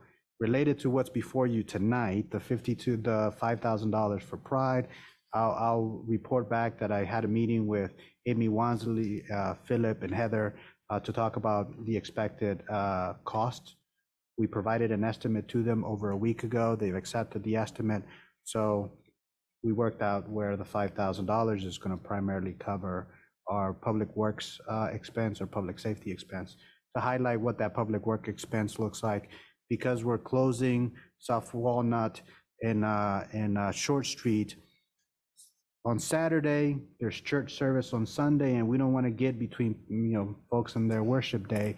We're going to have Public Works folks come in at the end of Saturday night to close. That's overtime. So just to hide, we don't need to get into the minutia, but uh, we've walked through those things, those items with pride, and we have an understanding that we're good to move forward uh, as the the sponsorship has been pr- uh, presented. Cool. And so we're going to use Short Street? We closed the streets, yes. We, Wow. we got a Walnut and Short Street. All right, I'm excited. Yes, Mary Okay. Ann? Yeah. So it seems like there are at least three things. There's the cost that we incur on putting on an event. There's a fee schedule that you had developed. And then there's however, how we determine our donations. So Josue, when you say you're going to come with an ordinance, is that ordinance going to have, is- is your thought that that ordinance is going to have all three of those pieces in it? And are you going to use exactly the information that we've already gotten? Or We- say a little more? Yes, so you, you, you highlighted three things. Um, The cost that goes into a service, the associated fees, and what council is willing to sponsor or forgive. That third item is really more of your discretion and your authority, what you're willing to, to cover for that. What we're going to commit, what we're committed to providing, expanding on the research that we provided, uh, outlining the procedural steps to securing a permit, planning for an event, what will be allowed, what our estimated costs for these activities are. So from us, you are going to get uh, better, better outlook on what those costs would be, what the re- recovery fee would be. We're, we're approaching this as that there's no way of recovering 100% of our expenses, and we're not approaching it as looking to recover 100% of our expense, but we're all looking to recover some of it, uh, because we understand the importance and the significant of many of these events are on, on our community. So you'll get those two things from us. On the third piece, that's when, on what council is willing to um, sponsor or or waive, that's really council's authority, and I think that's, that's where you come in. Now, we're, we're, I'm, I- I'm asking for a council member to participate in the process so that we have staff, community input, and council reflecting those views. Paige, did I miss anything? Okay. And I think the other way that we hit that third thing is through that process, that's gonna hit, you know, that piece around how council's gonna make a decision or mm, whatever. So Right. I, I, I think we can hit it, you know, in the ordinance, but again, I, I think it still needs to be the case like we've done in the past where, you know, if you are having a major event, you come, I mean, you put it in your permit form, but you ask council to support that. I mean, I think we've gotta, And then when we give a grant, do we actually give money and then they pay us, or do we just forget, forgive part of the cost? Yeah, so I think it, I think it's gonna vary by, vary by event. So, uh, for example, in the past, we have paid for porta potties. That's an out, that's a, that's, the, the event organizers not incurring that expense, but we are. You know, examples have been Pride, Porch Fest, and so on. Uh, so there are gonna be, there are gonna be times where that expense is a hard cash outdoor speakers expense. we've done. Speakers, yeah. Mm. So I think it's gonna vary by, vary by event. In terms of how we book it on, on our end, that's an accounting process that Amy will figure out how to, how to allocate those, those expenses. Carmen, did you have a question? Well, it's just var- varying by event, how we incur, like what, how we determine what's a hard cost and what isn't, var- varying by event. I don't, I don't, I'm not really clear on that. Okay. Um, but then you sent out that Seattle thing, Mhm. huge town, whatever. Um, but it was pretty, it was a pretty good guide on about exactly how to do it. And of course, we're talking about on a huge scale. Yeah. But that's a good example. We could just take what we need from it and make it smaller because it's already there. Right, right. Mm-hmm. It's already, it's all, it's, I mean, it's, it's really all there. Now we're talking about like Live Nation events and iHeartRadio events and huge concerts at big, huge venues, but all the information is there. Right. If you want to have an event, this is step one, step two, it's just laid out. Correct. Correct. Yeah. I also think what's nice about Seattle is like, okay, it's a different town, but they still like scaled it based on different sizes of events. And I think you mentioned at the last meeting that it was more data-driven at least, you know, Right. as opposed to some of the other. Um, I will say, Carmen, you know, one of the things that we've seen in the past, like when I think about, um, uh, uh, with Kwanzaa, I guess it was, Mm-hmm. you know, they also like broke out like speaker fees and whatnot. So we still have that form to use, Sure, yeah, yeah. right? So I think it is a combination of what are some of these costs around just public safety I've used that and form, that whatnot. form, that form needs to be reworked. Yeah, well, and actually, I agree, we should review it. Yeah. But I think, you know, so we've got like kind of two, we've got the public safety and public works piece. And then we've also got like some of these hard asks around like, can you support a speaker or whatnot? Um, but I don't feel like the, the process really needs to change that much. I think Right. the only difference is now we're sort of thinking about these other fees. And then as a side note, remember, we kind of had a consensus around, we were trying to shift mostly to in-kind Mhm. services uh, for events. Um, So I think that's an important guideline. to That is- have. Yeah, go ahead. Or- or- Sorry, I would- I was just going to follow up with what you say, that important guideline as it relates to expenses. And i- thi- this is where the varies by events, right? Because there's different groups that request different things, and some are very straightforward. Others where there isn't as straightforward, there leaves room for creativity or us having to figure things out. This process is going to help streamline that, so we, there's less figuring it out. Gotcha. If you're closing a street, it's going to take six barricades on each side or whatnot, like that's going to be spelled. And so we don't need to figure out how many folks we need to move that, what do we need to, equipment to move that. Actually, later tonight, we're talking about barriers. So as a way to get better at these things, so. Gavin, go ahead. So I think a comment from you earlier, Josue, addressed this, but um, Marianne, in your memo, you had raised this, and it's come up here also. I think, Brian, you might kind of reference it in your comments. So Marianne, your memo, you talked about at the, um, you know, at, during the budget process, that we asked staff to provide um, information about the costs, basically, for these events, and then said that we had got that at the last meeting. I'm just making sure, I didn't miss anything, right? What we got the last fee, at the last meeting was a fee schedule, but we have, we ever received information about what the actual costs are of events? Yeah, I'll need to, I need to review my notes to see what invoices we have. We, we do have them. I know Johnny prepared invoices, Paige prepared invoices in terms of what numbers are. I don't recall right now when we sent that over to you. We have them, but I will make sure that you get copies of what the team put together last year on what those costs are. I'll make sure you get the estimate, what the team put together for this upcoming event. And so you, you will have that. Okay, thank And you. Now, one of the things that is referenced in this uh, resolution is that the funds are going to be dispersed upon receiving of the invoice. So we're going to generate a invoice of actual cost, how much time each personnel assigned to the project worked and whatnot. So you're, we're going to, we're going to be booking that in our accounting system, uh, more diligent moving forward and generating these invoices. Okay, anything else? Okay, so I, I want to highlight three key points. Okay, number one, none of this is saying like everybody's got to pay like tens of thousands of dollars to have an event. All right, we are just trying to figure out what these events cost, number one. Uh, number two, um, it helps us then make decisions around donations, how the village should be recognized. It also like lets taxpayer know, uh, taxpayers know, like, you know, are, are we doing the right thing for the village? And then thirdly, I love that the committee is going to involve a council member because, you know, I mentioned one of the reasons that we had 25 more minutes added to our meeting last time was we didn't vet the YS Pride event prior to the meeting. So we can't really do that here. So it's, I'm glad that a council member is going to be part of that activity. Okay. Anything else? Okay, so, uh, I, I have. oh, yes, Jessica. Jessica, I have a response. I don't know if what your question is going to be, but I, I've, uh, I meant to follow up to an email you sent earlier, so I'll state it now. Okay. Do you mind? Okay, so, so uh, Jessica had asked earlier if what we were getting in return for the sponsorship, the presenting sponsorship level, and I just want to reiterate um, that eh, that the council is not going to receive a lot of the benefits that are listed in that sponsorship agreement. So for example, one of the benefits is 10 beer, 10 beer garden tickets.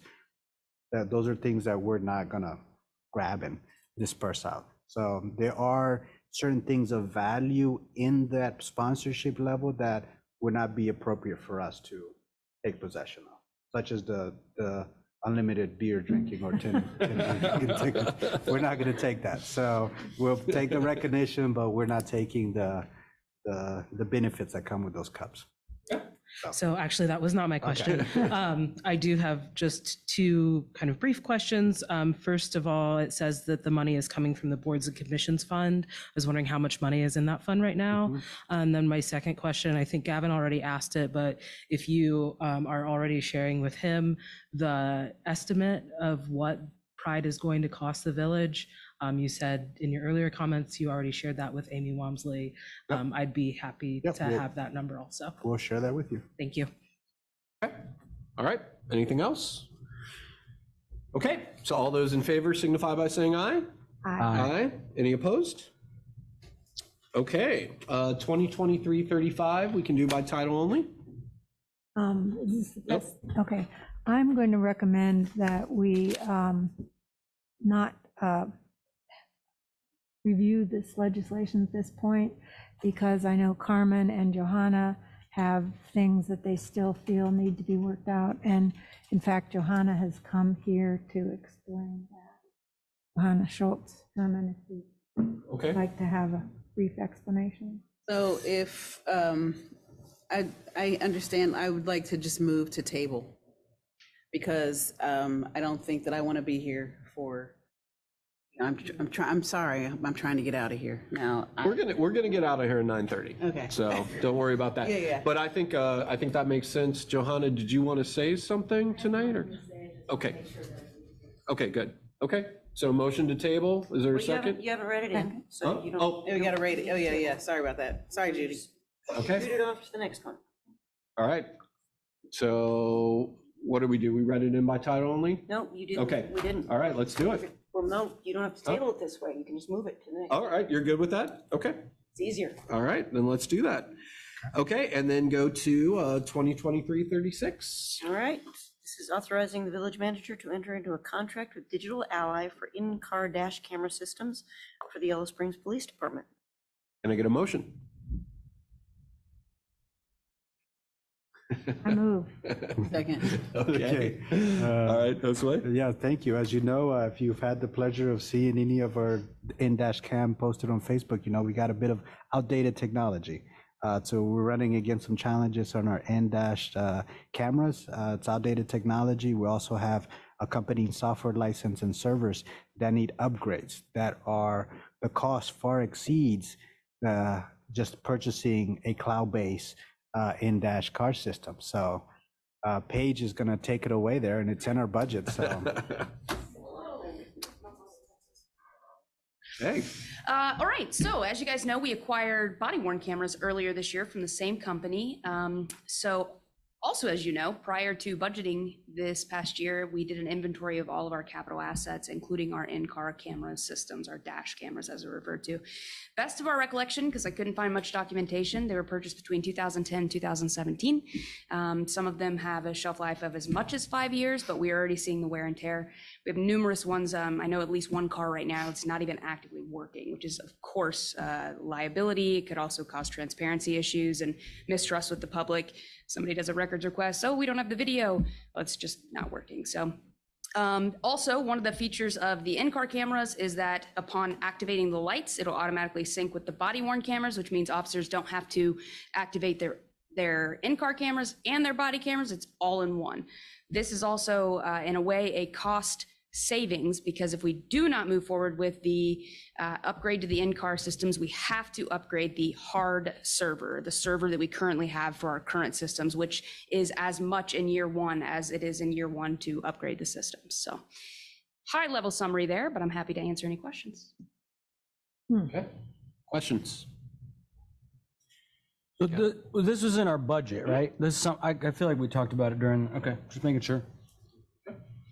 Anything else? All right, Thanks. thanks, Paige. Okay, uh, any questions or comments from citizens? Okay, all those in favor signify by saying aye. Aye. Any opposed? All right. 2023-37. We can do that by title as well. Where'd you go? This is approving a preliminary plat plan for Home Inc. Cascades PUD. All right, can I get a motion? I move. Second. All right, Denise. So, um, I, the March 14th, was it March 14th? I guess it's been a while. Yeah, the, uh, Planning Commission, uh, met and, um, made the recommendation, uh, to council to approve a preliminary PUD for Home Inc. Now, this property sandwiched between Marshall and Herman Street is already rezoned PUD. Um, last time they came to us was in 2019. So, um, they're back. The, the project is scaled down, uh, as you recall, may remember, it was like a 54-unit, three-story multi-family building. Um, Now it's, it's going to be 32 units that are built out in four phases. And the first phase, uh, as you were talking tonight, eight rental units. Uh, Phase two will have six rental units, phase three, eight rental units, and phase four, 10 home ownership units. Um, So the uh, only variations that um, the planning commission made in their recommendation was uh, for a modification of the minimum parking requirements. Um, This is a senior housing project, so they would have been required to have 42. They're asking for 30. Um, And planning commission was okay with that.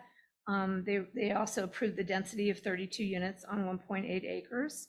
Um, The, uh, there was, I don't know if I need to go into, you've seen everything. There's a lot of little things in here that they also added, um, s- just about stormwater calculations and things like that will be needed for the final uh, plan review. But Planning Commission is making the re- recommendation to council to approve this preliminary PUD. All right. Thanks, Denise. Uh, questions or comments? Okay. Well, I would think, uh, this has been on our, our radar for a while, so, uh, I'm hoping that we are gonna move it forward. Um, okay, so I think all those in favor signify by saying aye. Aye. Any opposed? Okay. Last piece of legislation, 2023-38. I told you, Emily. Did I not tell you?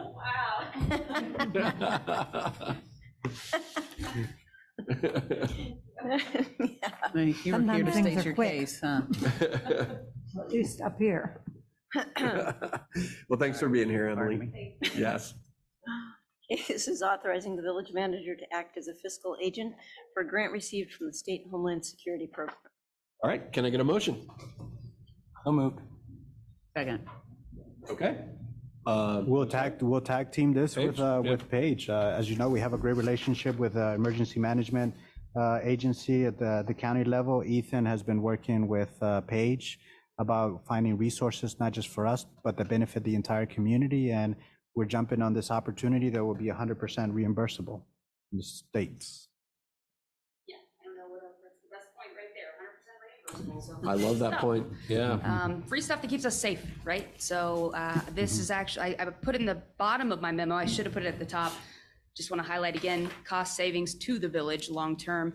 Uh, Johnny and I have already had many discussions about uh, additional needs for event planning, including the purchase of potentially more concrete barriers. I don't know if many of you know, but we did have a couple incidents at last year's street fair that were uh, hair raising, to say the least. Um, and these barriers are, are are a little bit of a response to that as well. So any questions about what we're trying to acquire? Hopefully I highlighted it. So sure. Do we, oh, so you, we've been using cement barriers Mm-hmm. and what you're looking at is something that's portable. it sounds Yeah, it's a like. portable, um, so the, the best example, and I, I don't want to commit to necessarily this specific brand, but the best example is uh, Meridian is uh, the, the brand name of this particular barrier. And they stop uh, uh, up to a 3,500 pound vehicle on a dime. Um, uh, Yeah, very, very secure barriers that can be moved by one person. So it's pretty impressive technology if you want to go to their website. I'm also happy to send a link of some of the videos that they have available if you're interested in that kind of watching crashes and such. Well, does it get like attached into the? It doesn't, no. mm-mm. It's on wheels. The way it, it transport, it has a single lever that you put in and, and wheel it in, put it right in place. So. I know, should ask more than Hope- I hope we don't dollars have for something like it. that. And I'm not finding it, what was the, uh, so there were the, you know, 19 or so barricades, and what was the other thing? Oh, something to move them Yeah, on, is it- that? Because, A because they trailer. are, there's so many of them, and for them to be quickly deployed, a Okay. trailer, yeah, a Gotcha. trailer to haul them Okay. around in, so. All right, cool. All right. Uh, looks like Mitzi's got a question. Thanks, Pete. So any event like the Pride event, when you're closing streets, that, those would be used? Yes, ma'am, yeah. Anything we can keep the public safe, including Johnny's guys while he's out working on the streets and stuff, so. And so just for folks that didn't hear, Mitzi just asked, uh, can these be used for any sort of events? And it sounds like they can be easily deployed. So, Absolutely. all right, thanks. Thank you. And hundred percent reimbursable. Okay, uh, any other questions or comments? Okay, uh, all those in favor signify by saying aye. Aye. Any opposed? Okay, we are now into citizen concerns. This is the point on the agenda where we welcome any comments up to three minutes for any item that's not on the agenda. So do we have any citizen concerns? Okay. Oh, Jessica, come on up.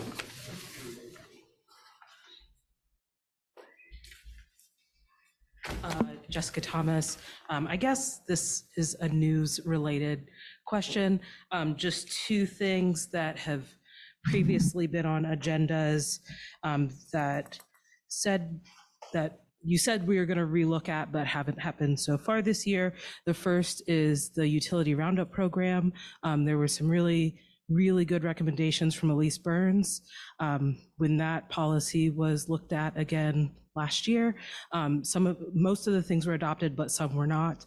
I was just, in the at, during that conversation, you said you were going to look at them within the next year or so, and I wondered if that time could be now when people aren't, when you, like, I'm sorry, trying to think of how to say this. Um, During the time of year where if a utility gets, if electric specifically gets shut off, it might not mean somebody sitting in their house cold. Um, I'm hoping that we can be proactive about possibly having any of these changes. And the second one was looking at um, the stormwater fees that were enacted. um, And and, uh, during that conversation, um, there was the potential of eventually doing some stormwater mitigation, um, not fees, but like, I guess, credits for citizens who are trying to mitigate stormwater coming off of their property already.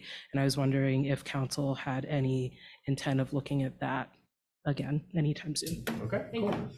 Yeah, I think utility roundup, let's have an update in your report next. We're, we've, we've been talking about utility roundup as uh, utility roundup 2.0, thermostats, dedicated revenue from sale of rec. So it's going to come up as part of our uh, sale of rec policy and proposal. Uh, So that's been in the works for some time. So we'll, we'll have that. I think we, that comes back May 15th. Okay, cool. Um, So we'll, we'll have the conversation. Right. Around that. And For the then- stormwater things, um, Well, let's have, like, let's have in your next manager's report, just kind of like what the vision is now that we've, you know, got that, um, you know, for stormwater. fund in place, yeah. And then, um, but I think it is interesting that Jessica specifically focused on, um, you know, is there a way to like balance that out with people that are mitigating their stormwater contributions? So, um, so yeah, so let's put that in Yep. the next. Great questions. Okay, any other citizen concerns? All right, we do not have any special reports, so I think that moves us to the manager's report. And remember, Marianne wants to highlight Fairfield Pike, which I know Carmen and I do as well, and probably Gavin. Yes, uh, well, uh, I think I had a conversation with, with you guys about providing uh, things that are happening down the pipeline. Among those is the gas aggregation, so you're seeing this more full-up uh, report, so that when we're bringing things to you, sort of uh, are caught up to where we are on things. Uh, So I've got that, I've got staffing updates, health insurance, the agraria projects. I think the agraria projects are going to require some significant time down the road for us. Uh, So I've got that information included in there. If you see something that you have a question now, please let me know. You can always email me and say if you want to check in about these projects. So I've got that. So do you have any questions on the manager's report before we transition to Fairfield Pike and Special Events Committee? Any questions on the report? Okay. All right, so then let's start with uh, Fairfield Pike. Uh, Paige left. She Um, snuck out. she snuck out right on, on this piece. Um, I think uh, I'll start off with saying that I, that Jason's uh, email highlights that we've seen some of the intervention. There was a couple weeks where we had mayor's court filled with speeders. So we had, we certainly increased our, our intervention efforts to catch more speeders. Uh, Obviously, there's a behavior change that needs to happen. The ways to get into that behavior change, we looked at stop signs. Uh, Greene County engineered, uh, advi- strongly advised against the stop sign, the four-way stop, because it would create greater liability for us. They've been proven to not slow down the traffic in those kinds of areas, that instead they create more crashes. Uh, So we're advising uh, against putting a stop sign. So we're back to some uh, boots on the ground ticketing people. We've had some successes, but the minute that the police officers are not there, well, guess what happens? Speeding picks up or uh, folks resume. So uh, I know, Carmen, you had emailed about setting up a meeting page. uh, Ann, you had requested additional information. We're going to be back at this to tr- try to tackle other, uh, implement other efforts to get at that behavior. Well, um, I also sent that uh, email to the, act- Okay, I mean, it, it's unacceptable that we have a dangerous street. mhm, And it's dangerous because people don't obey the speed limit. I mean, it's also dangerous because it's sort of narrow, no berm, no sidewalk. But we can't just have a police officer standing, you know, or there. Not- There must be something that we can do. that- Well, I mean, so one of the things that I'll say is this, so optics, we have officers posted on different sides of town. Sometimes they're hang, like, there'll be officers, two of them at Speedway, whatever. So we have, and, and like, this is about optics. If you have somebody, like on 68, there was always an officer in the last couple years, every, you know, people know this, um, either at YSI or at the Dollar General posted up. People stopped speeding. It became known as a speed trap traffic has slowed down significantly there. So having an officer on patrol on Fairfield Pike more often than just an hour a day will will deter that behavior, I think. And no, you know, we can't do the stop sign thing. Maybe an overhead red flashing light or something, because I live in the I live off. I have to to to get into my plat. I have to go on. I get off of Fair Acres, so Fair Acres and Fairfield Fairfield Pike it's I've gotten I've almost gotten hit coming out of the plat. And it's it's because people are speeding and they think that it's a rural route and around here you can go 55 or 50 on rural routes and it's not, it's residential. Um, But if it becomes known as a speed trap, that's gonna change behavior. yeah. If you start getting, you know, if people start getting ticketed and they have to pay every time, if they have to show up in mayor's, mayor's court, if they're inconvenienced, that's what, in my, that's what changes behavior. Because otherwise, like those flashing signs that says like, you know, 25, just saying, and it's like, oh, eh, it's cute, just saying. But Yeah. that's just, that's a sign telling you to slow down. It's not an officer handing you a ticket. Right. And I'm not particularly pro like ticketing people, but it's gotten to the point where, you know, animals, pets have been killed, children have, you know, it's been, there've been near misses.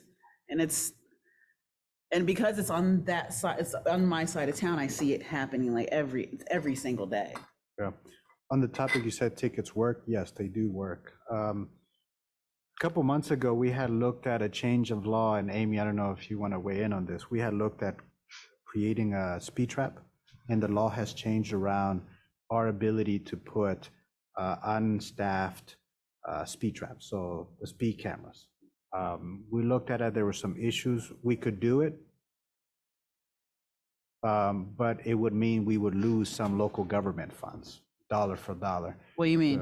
Like having, to have an officer? Whatever we to ha- Wait, to ha, wait, to have an officer there like a couple hours a day and then, No, it's. like. Whatever we Oh, collect can't for do those. Cameras though. No, we can. We can. We can? But We just can whatever now. we collect, we have to deduct from our local government allocation, which we actually may end up doing better. Oh, Uh, maybe. With, the- yeah. Um, but yeah, that was, that was one thing I think it is probably, you know, maybe Amy, do you want to come up and just like brief us on like what, what we can and can't do? So I, my understanding is if we have a speed camera, we have to have an officer there to validate it or I no? believe the law has changed on that. Okay. So if there- you don't have to have an officer present. There's um, nuances in the law that I can't speak to off the top of my head about how you have to file. Used to be you could handle a citation like that internally. Now I believe everything has to be filed in municipal court, so there are court costs involved in moving forward with it. It's not as um, easy and inexpensive as it once was. So you'd need to contract with a company that sells the red light cameras, or they're always referred to as red light cameras, but they are speed cameras, of, of course, as well. So you need speed cameras. Um, you can mount, they can be mounted on intersections, or there's mobile ones. Um, and then we'd have to give consideration to all the nuances of what you'd have, what that would mean. And one of the big things is the local government funding. Anything, you have to, there's um, quarterly or maybe twice a year reports that have to be filed with the state of Ohio, and then whatever you've collected based on those cameras is going to get deducted from the local government funding that's um, given to the village. But I can put a memo together on it of what the steps you'd have to take to move in that direction. Um, And then what you would have to do to stand up the program.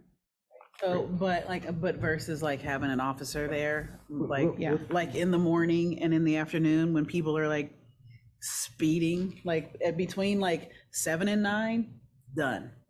It's ridiculous. Between four and six, it's ridiculous. And that would be probably, I mean, I don't know, maybe that would be less expensive than getting speed cameras and doing all that technology stuff. That's just my opinion. I don't know.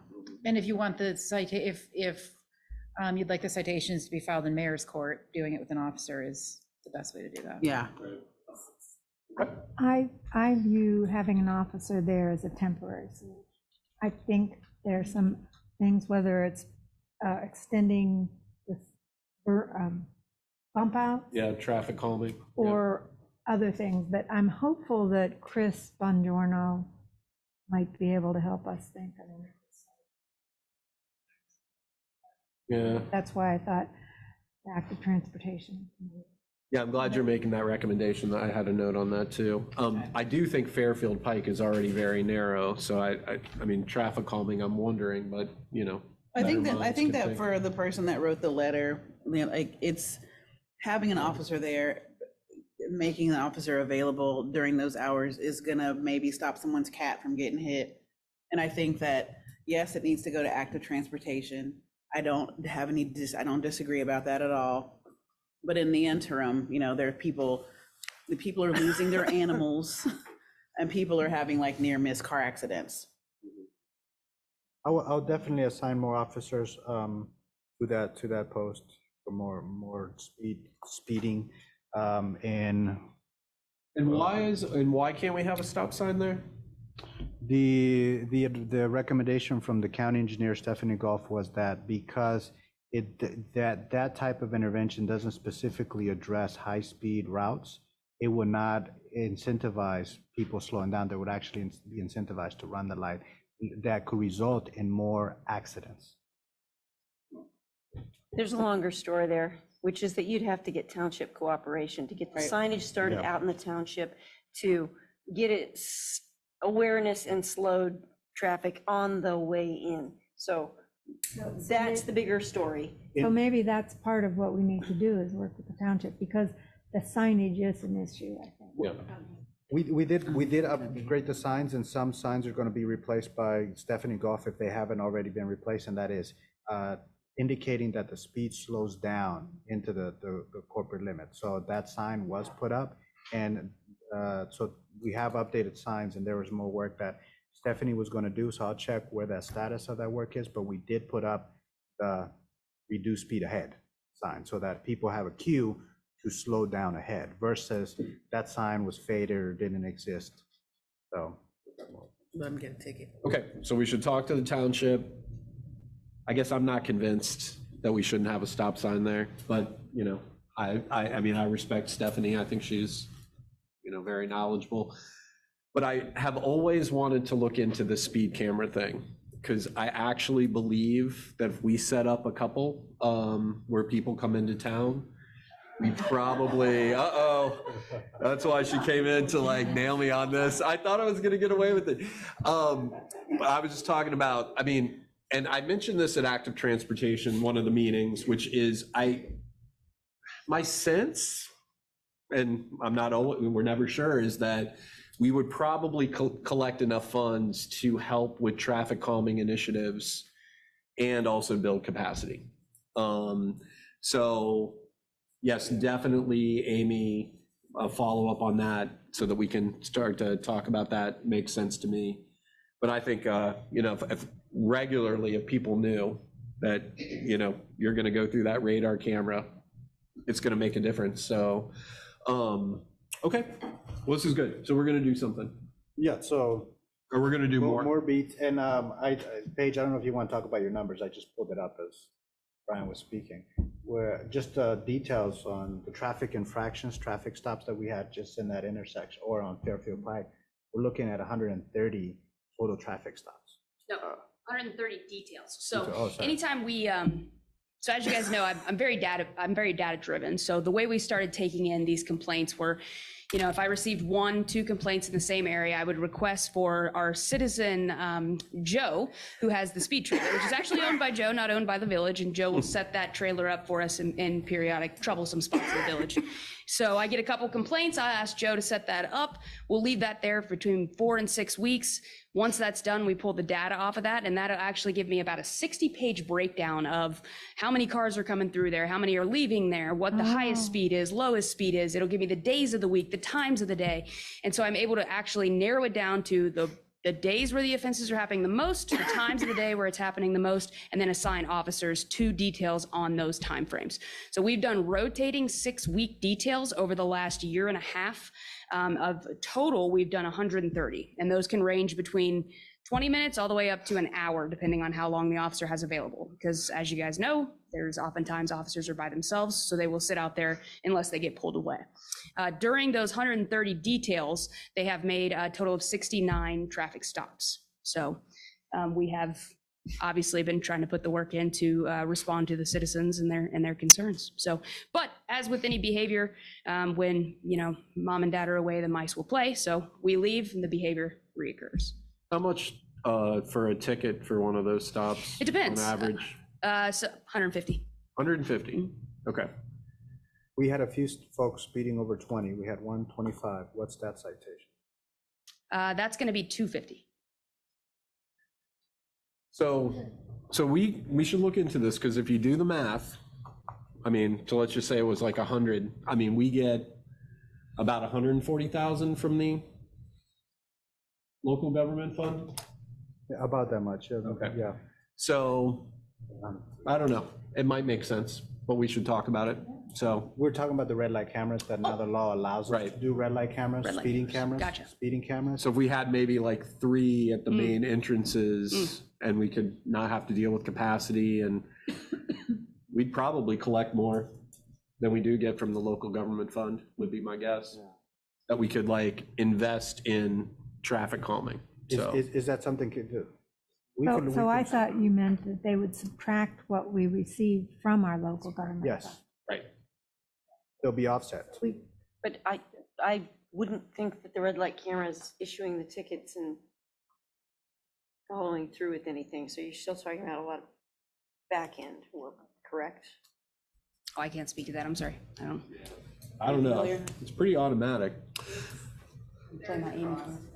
Yeah. Through the whoever company, that you would- it's, it's not the village that's generating the tickets, right? It's happening in some far flung place, and they do charge it, they char- charge a fee for every ticket that they generate, or at least they have. I haven't worked with a client, I haven't looked at in a while, but the last time I worked through one of those contracts, yes, there is a fee for, per ticket, and then there's the cost of getting out of whatever. Yep, We'll look at it later. All right, thank you. Well, the other thing, uh, Amy, are we able to increase our speeding fees? I don't know.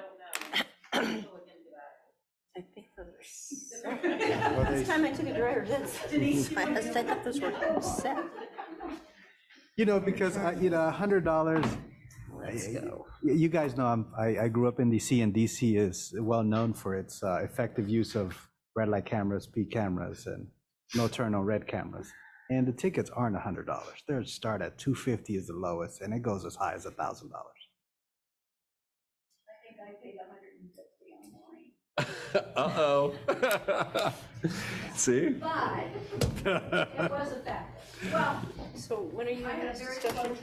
Uh, we need to have a, like, a, a meeting, a subcommittee meet, and then we can bring back some So we need to have a sub, so we, we need to have a subcommittee meeting. So the people that live on Fairfield Pike right now, who are worried about their animals getting hit, we're having a subcommittee meeting before we talk about maybe more officer detail or Josue, you said? No, no, I committed to that. We're gonna get that. Okay. We're- We're just trying to figure out if we can do some longer term, Mhm. so. Yeah, I think the committee is talking about the red light cameras and Yep. looking into that. Cost benefits. Okay, all right, good. Anything else on the manager's report? We talked about the special events committee. Oh, yeah. Do I have a volunteer? Well, if no one else, I'll do it, so. Okay, all right, yeah, Carmen and I will tag team. Okay, That all sounds good. right, all right. All right, cool. Yeah, and if we can both make it. There, was there another request for the manager's report? I think that me was it. see. No, a new business. New business, uh, film festival. So on the film Oh. festival, you brought that up, uh, Yeah. the film festival, uh, and then there's the work session piece. On the film festival, I did attend a meeting with the, with the Chamber of Commerce. I offered the John Bryan Center as another site to play a movie. Um, I will schedule a meeting with Eric, who is the person leading that effort, and we'll see what else is needed from the village. I indicated our support at the last meeting we had on this. I think it's, it's a great idea. We have filmmakers here and all kinds of very creative people. I, I was invited to a screening at uh, Little Art Theater for jury duty, and I'm stuck on that jury duty. Uh, Episode, Carmen was there, Oh, uh, and I nice. have, I have jury duty tomorrow. Oh, in real life? All right. Yes, in real life. I was supposed to go today, and I called, and they said, "Oh, you show up tomorrow at 8:30." So I got to be there tomorrow. Your civic duty. So, uh, so yeah, so I'll, I'll keep you abreast of that film festival. I think it's a good activity. We'll figure out the, the, the details of it. Yeah, so again, they're targeting October, and I'm really happy that we're thinking about Short Street now, because that was one of the venues that they mentioned to do some, like, an outdoor screen. Yeah. That didn't come up, but I'll, I'll, I'll discuss it with Eric, see where it goes. I mean, they didn't finalize that, but they mentioned like potential venues. I think an so- outdoor screen time makes sense. Yeah. Where is the right location for it? Right. Certainly. Um, good, good, good. Um, okay. Anything else on the manager's report? Okay. All right, thank you. I will just mention, because it's kind of in this context, uh, so I had a great meeting with Gina Marie um, from uh, Community Foundation. And not only did she mention uh, the film festival and opportunities there, as well as, uh, and I think Gavin knows about this, like potential for potentially a big donor to support the guaranteed income. Um, But a third thing that she highlighted, um, and she's been talking with Josue, I guess the Community Foundation is, they're interested in the, uh, the former school administration building. And I just want to say, I love that idea. And the idea that it could also be a venue for nonprofits, you know, they've thought about how that space could be allocated. Um, They would work with us. We've talked about that could be another place for public restrooms. I love the idea of like using Short Street sometimes for events. You know, we don't have to close it off all the time, but especially in the summer. So anyway, I know you're already thinking about this, but I, you know, when we had that conversation, I thought a lot, saw a lot of opportunity. Right, we've been talking about it for some time and we needed to make formal, formal discussions on it. And it sounds like you're ready to move forward in that direction. So certainly I'll, I can look to finalize that agreement with, her- with uh, the Community Foundation and bring back a lease. In a nutshell, if, if we're already talking about it, well, I, I would prefer to speak with Jenna Marie to finalize some of the detail, but uh, it would open up some more retail opportunities in the village if, with this transition that happens. On cost wise, I think, uh, you know, we will definitely make a lot more money than the past arrangement of uh, $1 a year. Uh, So I think, uh, I think it could create both a revenue stream to support what is a historic building and, and the history and legacy of that building, um, while also providing great service to a community. So, Yeah, and I'm glad you mentioned, because Gina Marie emphasized that point of opening up their current space, which is right on Dayton Street, which would be great for retail. So, yeah. Cool. All right. Anything else? I, I have Yeah. one more thing. Yeah. Uh, tomorrow's a special day, other than I have jury duty. Well, no, that's not so special, but it's, uh, it's Denise's birthday tomorrow. Wow. So, so Brian, I- Officially be a senior citizen Okay, all right, all right, all right. So I think you'll get uh, your air one. You want to, we should sing happy birthday. We to should. I think All it's gonna be the- Happy birthday to you. Happy birthday to you. Happy birthday, dear Denise. Happy birthday to you. And many more. All right. Now, Judy, you gonna say? I was gonna say, why don't you just wait till midnight? Oh, yeah. Okay. All right. Well, Brian rushed us through it. Nine o'clock, we're almost done. See? All right, so and it looks like Denise is ready for new business. Okay. So as you know, um, last December, we uh, finalized the PUD that had been sitting there for several, since 2018 at Millworks. Um, And uh, staff had talked about this with some neighbors probably four or five years ago in the comprehensive land use plan in 2010 and also in 2020.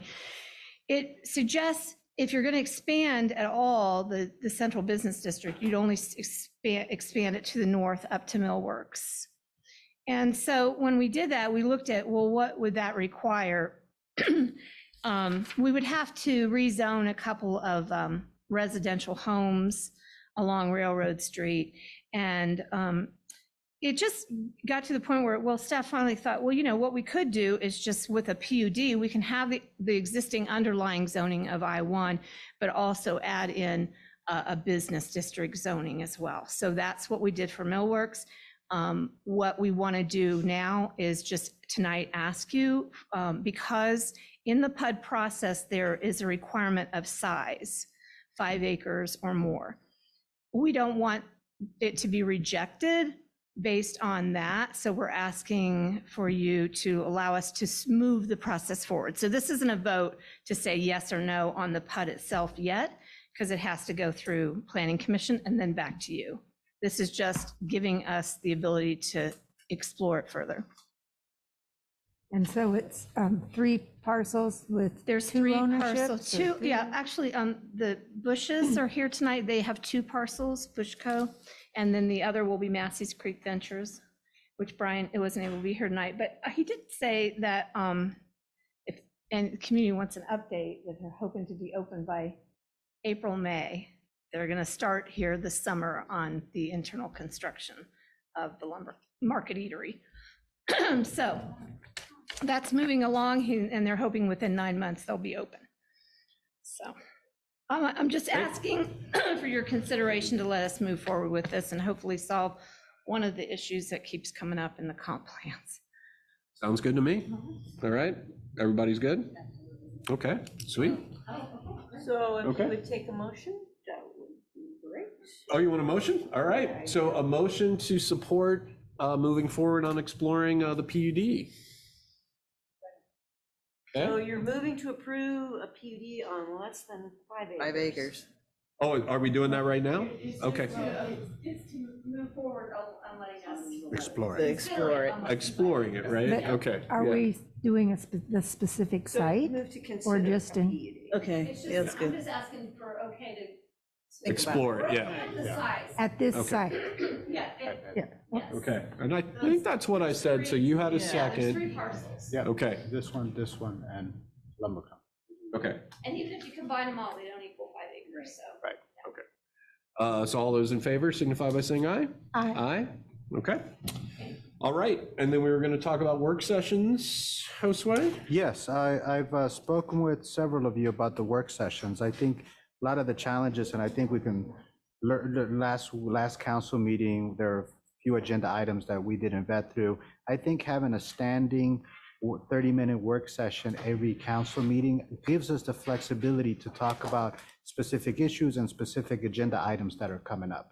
I think there are times when I, as the manager, am looking for feedback on a particular things that we get to managers report and, you know, it's, it's nine o'clock and gosh, we had a long day, you have full-time jobs. And so we, we, we, we rush through the, that last part of that meeting. So I think a work session at the beginning of a council meeting gives us the opportunity to have a deeper dive about a topic or a future agenda item.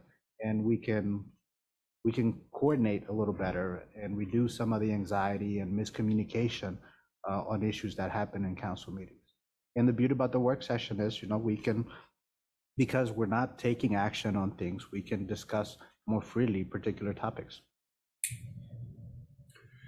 So then, Judy or Amy, if we do this, is that, does it happen at seven? Does it happen before seven? Does it matter? Well, basically, I I mean, to me, if you're really doing work sessions on different topics, you're essentially just changing your meeting time to 6:30 and starting with a work session. It's not, you're, you're getting a new meeting time.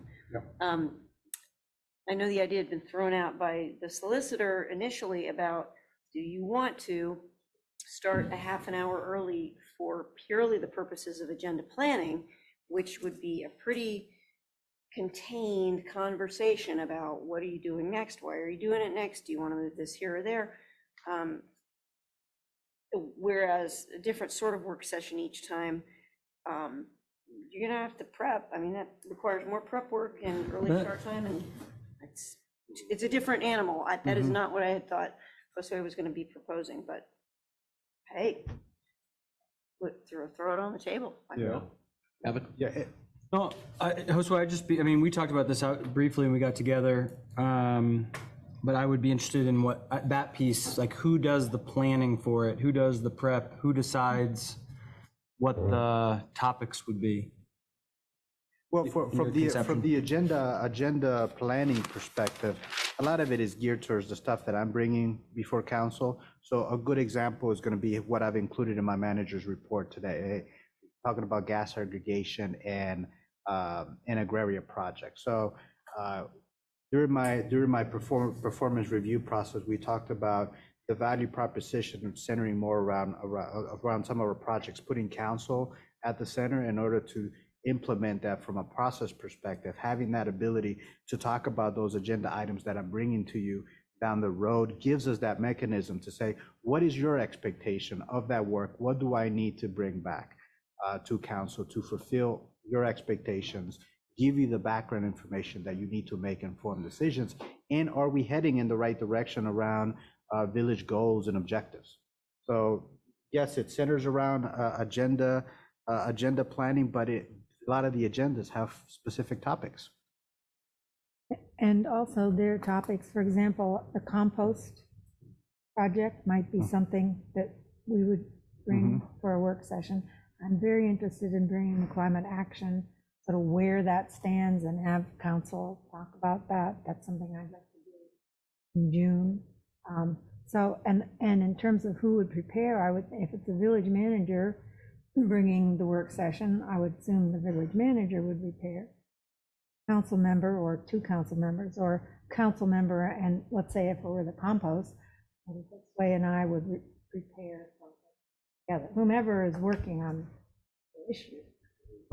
Yeah, no, I think what I was just trying to get, get to is like, so how would we decide that we would talk about compost versus talking about, I don't know, anything like, which I think we would issues do it, I would think we would do it at the next part of this agenda. So we would do it like at this meeting when we, you know, do agenda planning.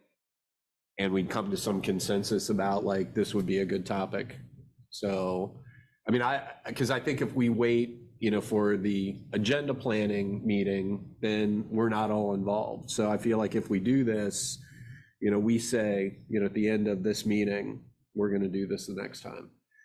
What were you thinking, Carmen? I appreciate the proposal. I appreciate the idea, but I think that if we work toward more effective communication, like, so you're talking about a half an hour meeting before every council meeting, okay? And so what if we have an executive session? We're here at five, five thirty? Um, you know, I, I think that, you know, I'm, I would, I wouldn't be opposed to having, one- we pretty much know what's coming down the pike. I wouldn't be opposed to having one once a month. Yep. You know, but, but not every meeting, especially because of stuff like executive session. Yeah, I think, when I think about it, like, related to my debrief from the last meeting, if I had thought about it, like, I would have, like, maybe spent that time talking about the zoning proposal for those 30 minutes. Okay. You know, for example. Um, But I like your idea, like, we don't have to commit to doing it every, you know, meeting. So, you know, we can, but I, I, I think we should try it, you know, and see, you know, when we have like topics that we think, um, you know, could use some extra time, so. And so that should be at the discretion of council or the village manager, probably council, to say, hey, we need to have uh, this, at this particular meeting, not everyone, there would be a memo, like, hey, we're gonna do the work session thing now. Instead of, and it's the every, it's the every meeting part, because sometimes we, there, yeah, sometimes I don't think it's necessary, sometimes it's more than necessary. Yep. Gavin? I'll just say, I- I do really like the idea of the, of agenda planning as being a, a component. So I mean, obviously, we're talking about, we're talking about 30 minutes once a month. a month. And we're trying to also talk about concepts. I mean, this is gonna fly by. Oh, But yeah, go for I did like the agenda planning component of it. Yeah. Because um, it does feel a little bit, like as somebody's not part of the agenda planning, Yeah. when we get to the meetings and things feel like they're kind of a surprise, or it feels like Yep. it hasn't been vetted, it's like, it's hard to know how to respond. So to participate in that would be nice. The other thing is, that's like the short term. Then I don't feel like we do a very good job of talking about the longer term of how we're doing toward our goals. So that piece that Josue mentioned resonated with me. Totally game to start out to try it. Um, I guess a little nervous that it's like, what are we, are we doing it as a future agenda planning? Are we doing it as more time to talk about topics? It feels kind of like And it would be, cha- it would be changing our meeting times, because we can't hang out and talk about anything, because it's, it has to be a public meeting. Correct. So we can call it a work session, but we're having an earlier meeting. An earlier meeting, right? Yeah, Amy, come on up.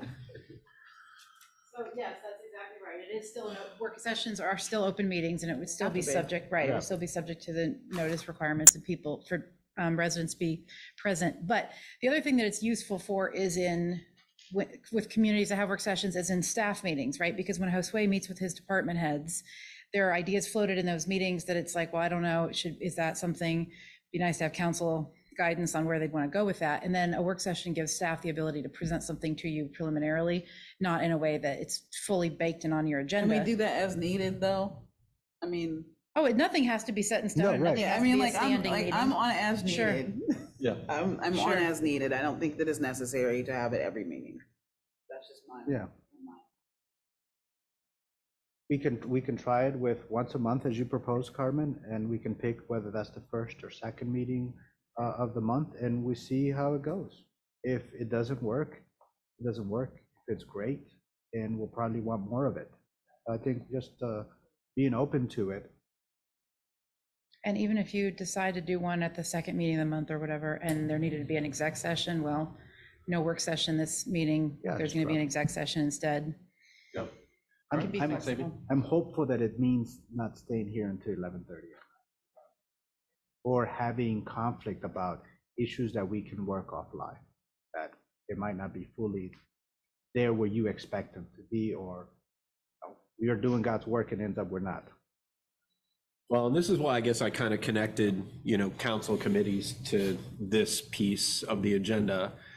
Because again, well, I'm glad to hear about the uh, special events committee, because that address, uh, would address one of the four topics that took a lot of time. Um, The YSDC piece, I would have liked that to have been like vetted somehow beforehand. And so I don't know if that means a different committee. Um, you know, the housing committee, I, I kind of already referenced, I understand that it was hard to make a recommendation about, you know, that particular topic, but in general, you know, I mean, I think as these kinds of things come up, we should think about, you know, beyond like a work session, which might do the trick, is there a subcommittee that should meet? And that's some of that. Yes. So apropos to that, I would like to have time at thinking of work session, talk about where the climate action work is, where it's gotten stuck, um, what might be some options. And I'd like to do that in, well, probably the second council meeting in June. By that time, I think there'll be a bit more information. I'd like to have it happen at the council table because, um, well, because we're, council is supporting this, so I think we need to have a discussion as council about what, here, here's where things are, what do we want to do? What, where do we want to go from here? Well, maybe that's our first try at a work session in June.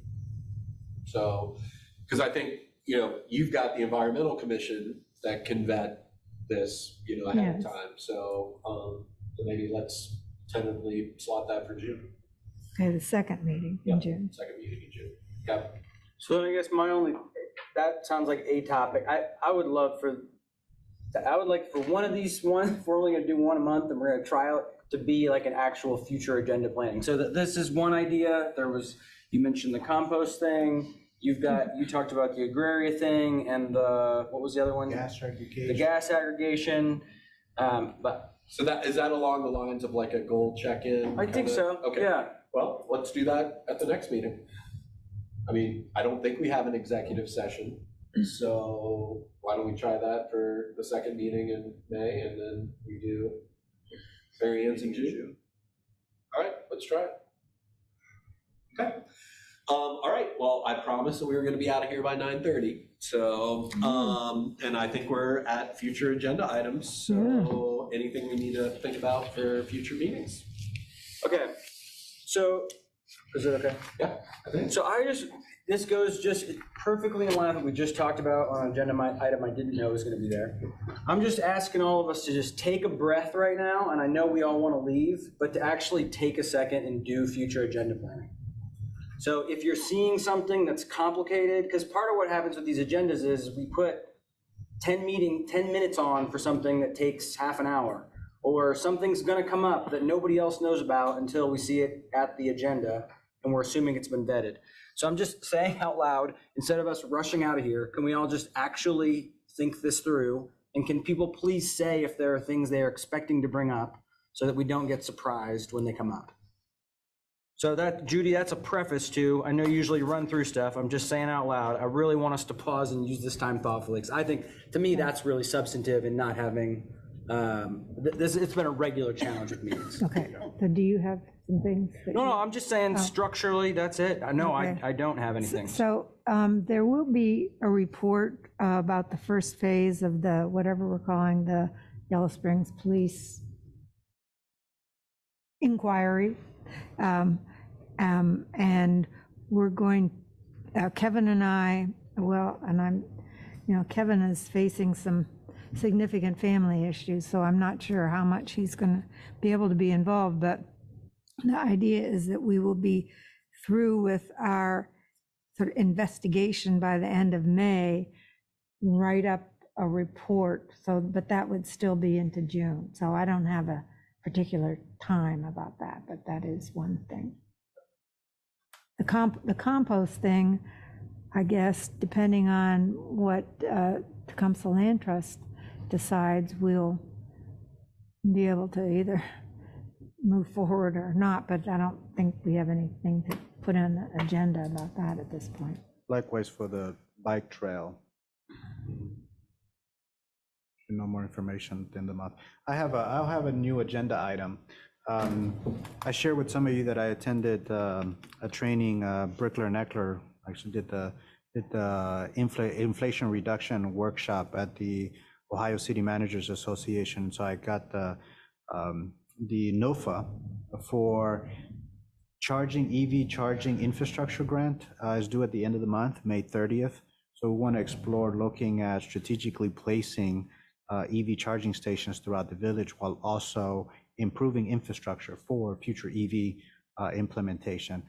The challenge with the grant is that it's a minimum ask of $500,000 with a $100,000 uh, matching funds. Uh, I think that if we can pair it with infrastructure improvements, like replacing a line, uh, a distrib- uh, distribution line in the village, we could probably get the benefit of, of infrastructure improvement while also putting out EV uh, charging infrastructure.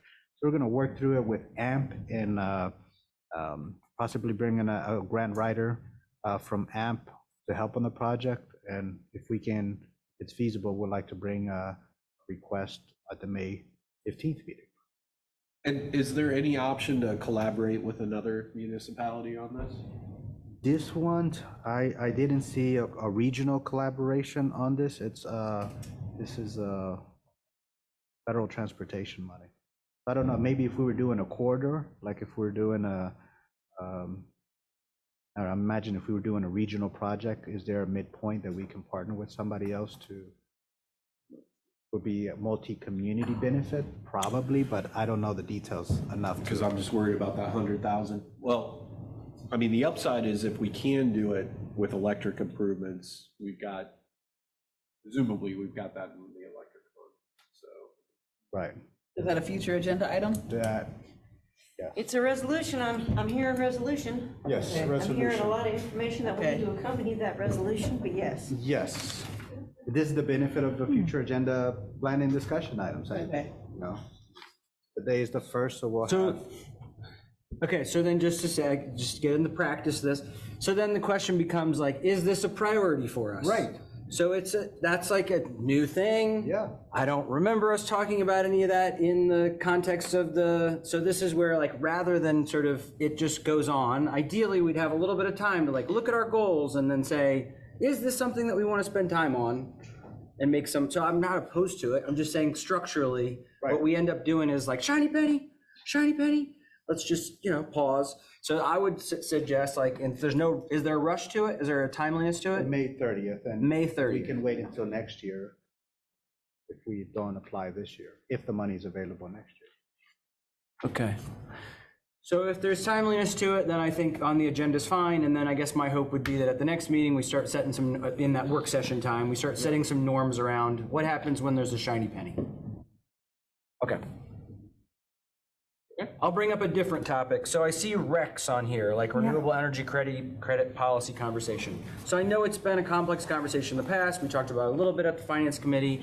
I guess I'm just, this seems like the opportunity to say, hey, are there things that people know they want to see or things they're expecting? So that that isn't an hour-long conversation, that it is prepared for effectively to be less of one. Is that, is, is there anything like that that people are expecting? Well, what I'm expecting for RECs is a memo in the packet that we could then like respond to. So that's what I think needs to happen there. So A recommendation. Right, right. I mean, this is something that I, I guess I thought, if it's not environmental commission, then somebody's gotta. No, I don't think it's the environmental commission as constituted. Um, Then I guess it can be finance committee. So, but yeah, I think there should be a recommendation that we respond to. Well, I mean, I, I've had conversations with Josue. I mean, I'd like to see, you know, wh- why are we selling them now? You know, h- how, how is it determined when the best time to sell them is?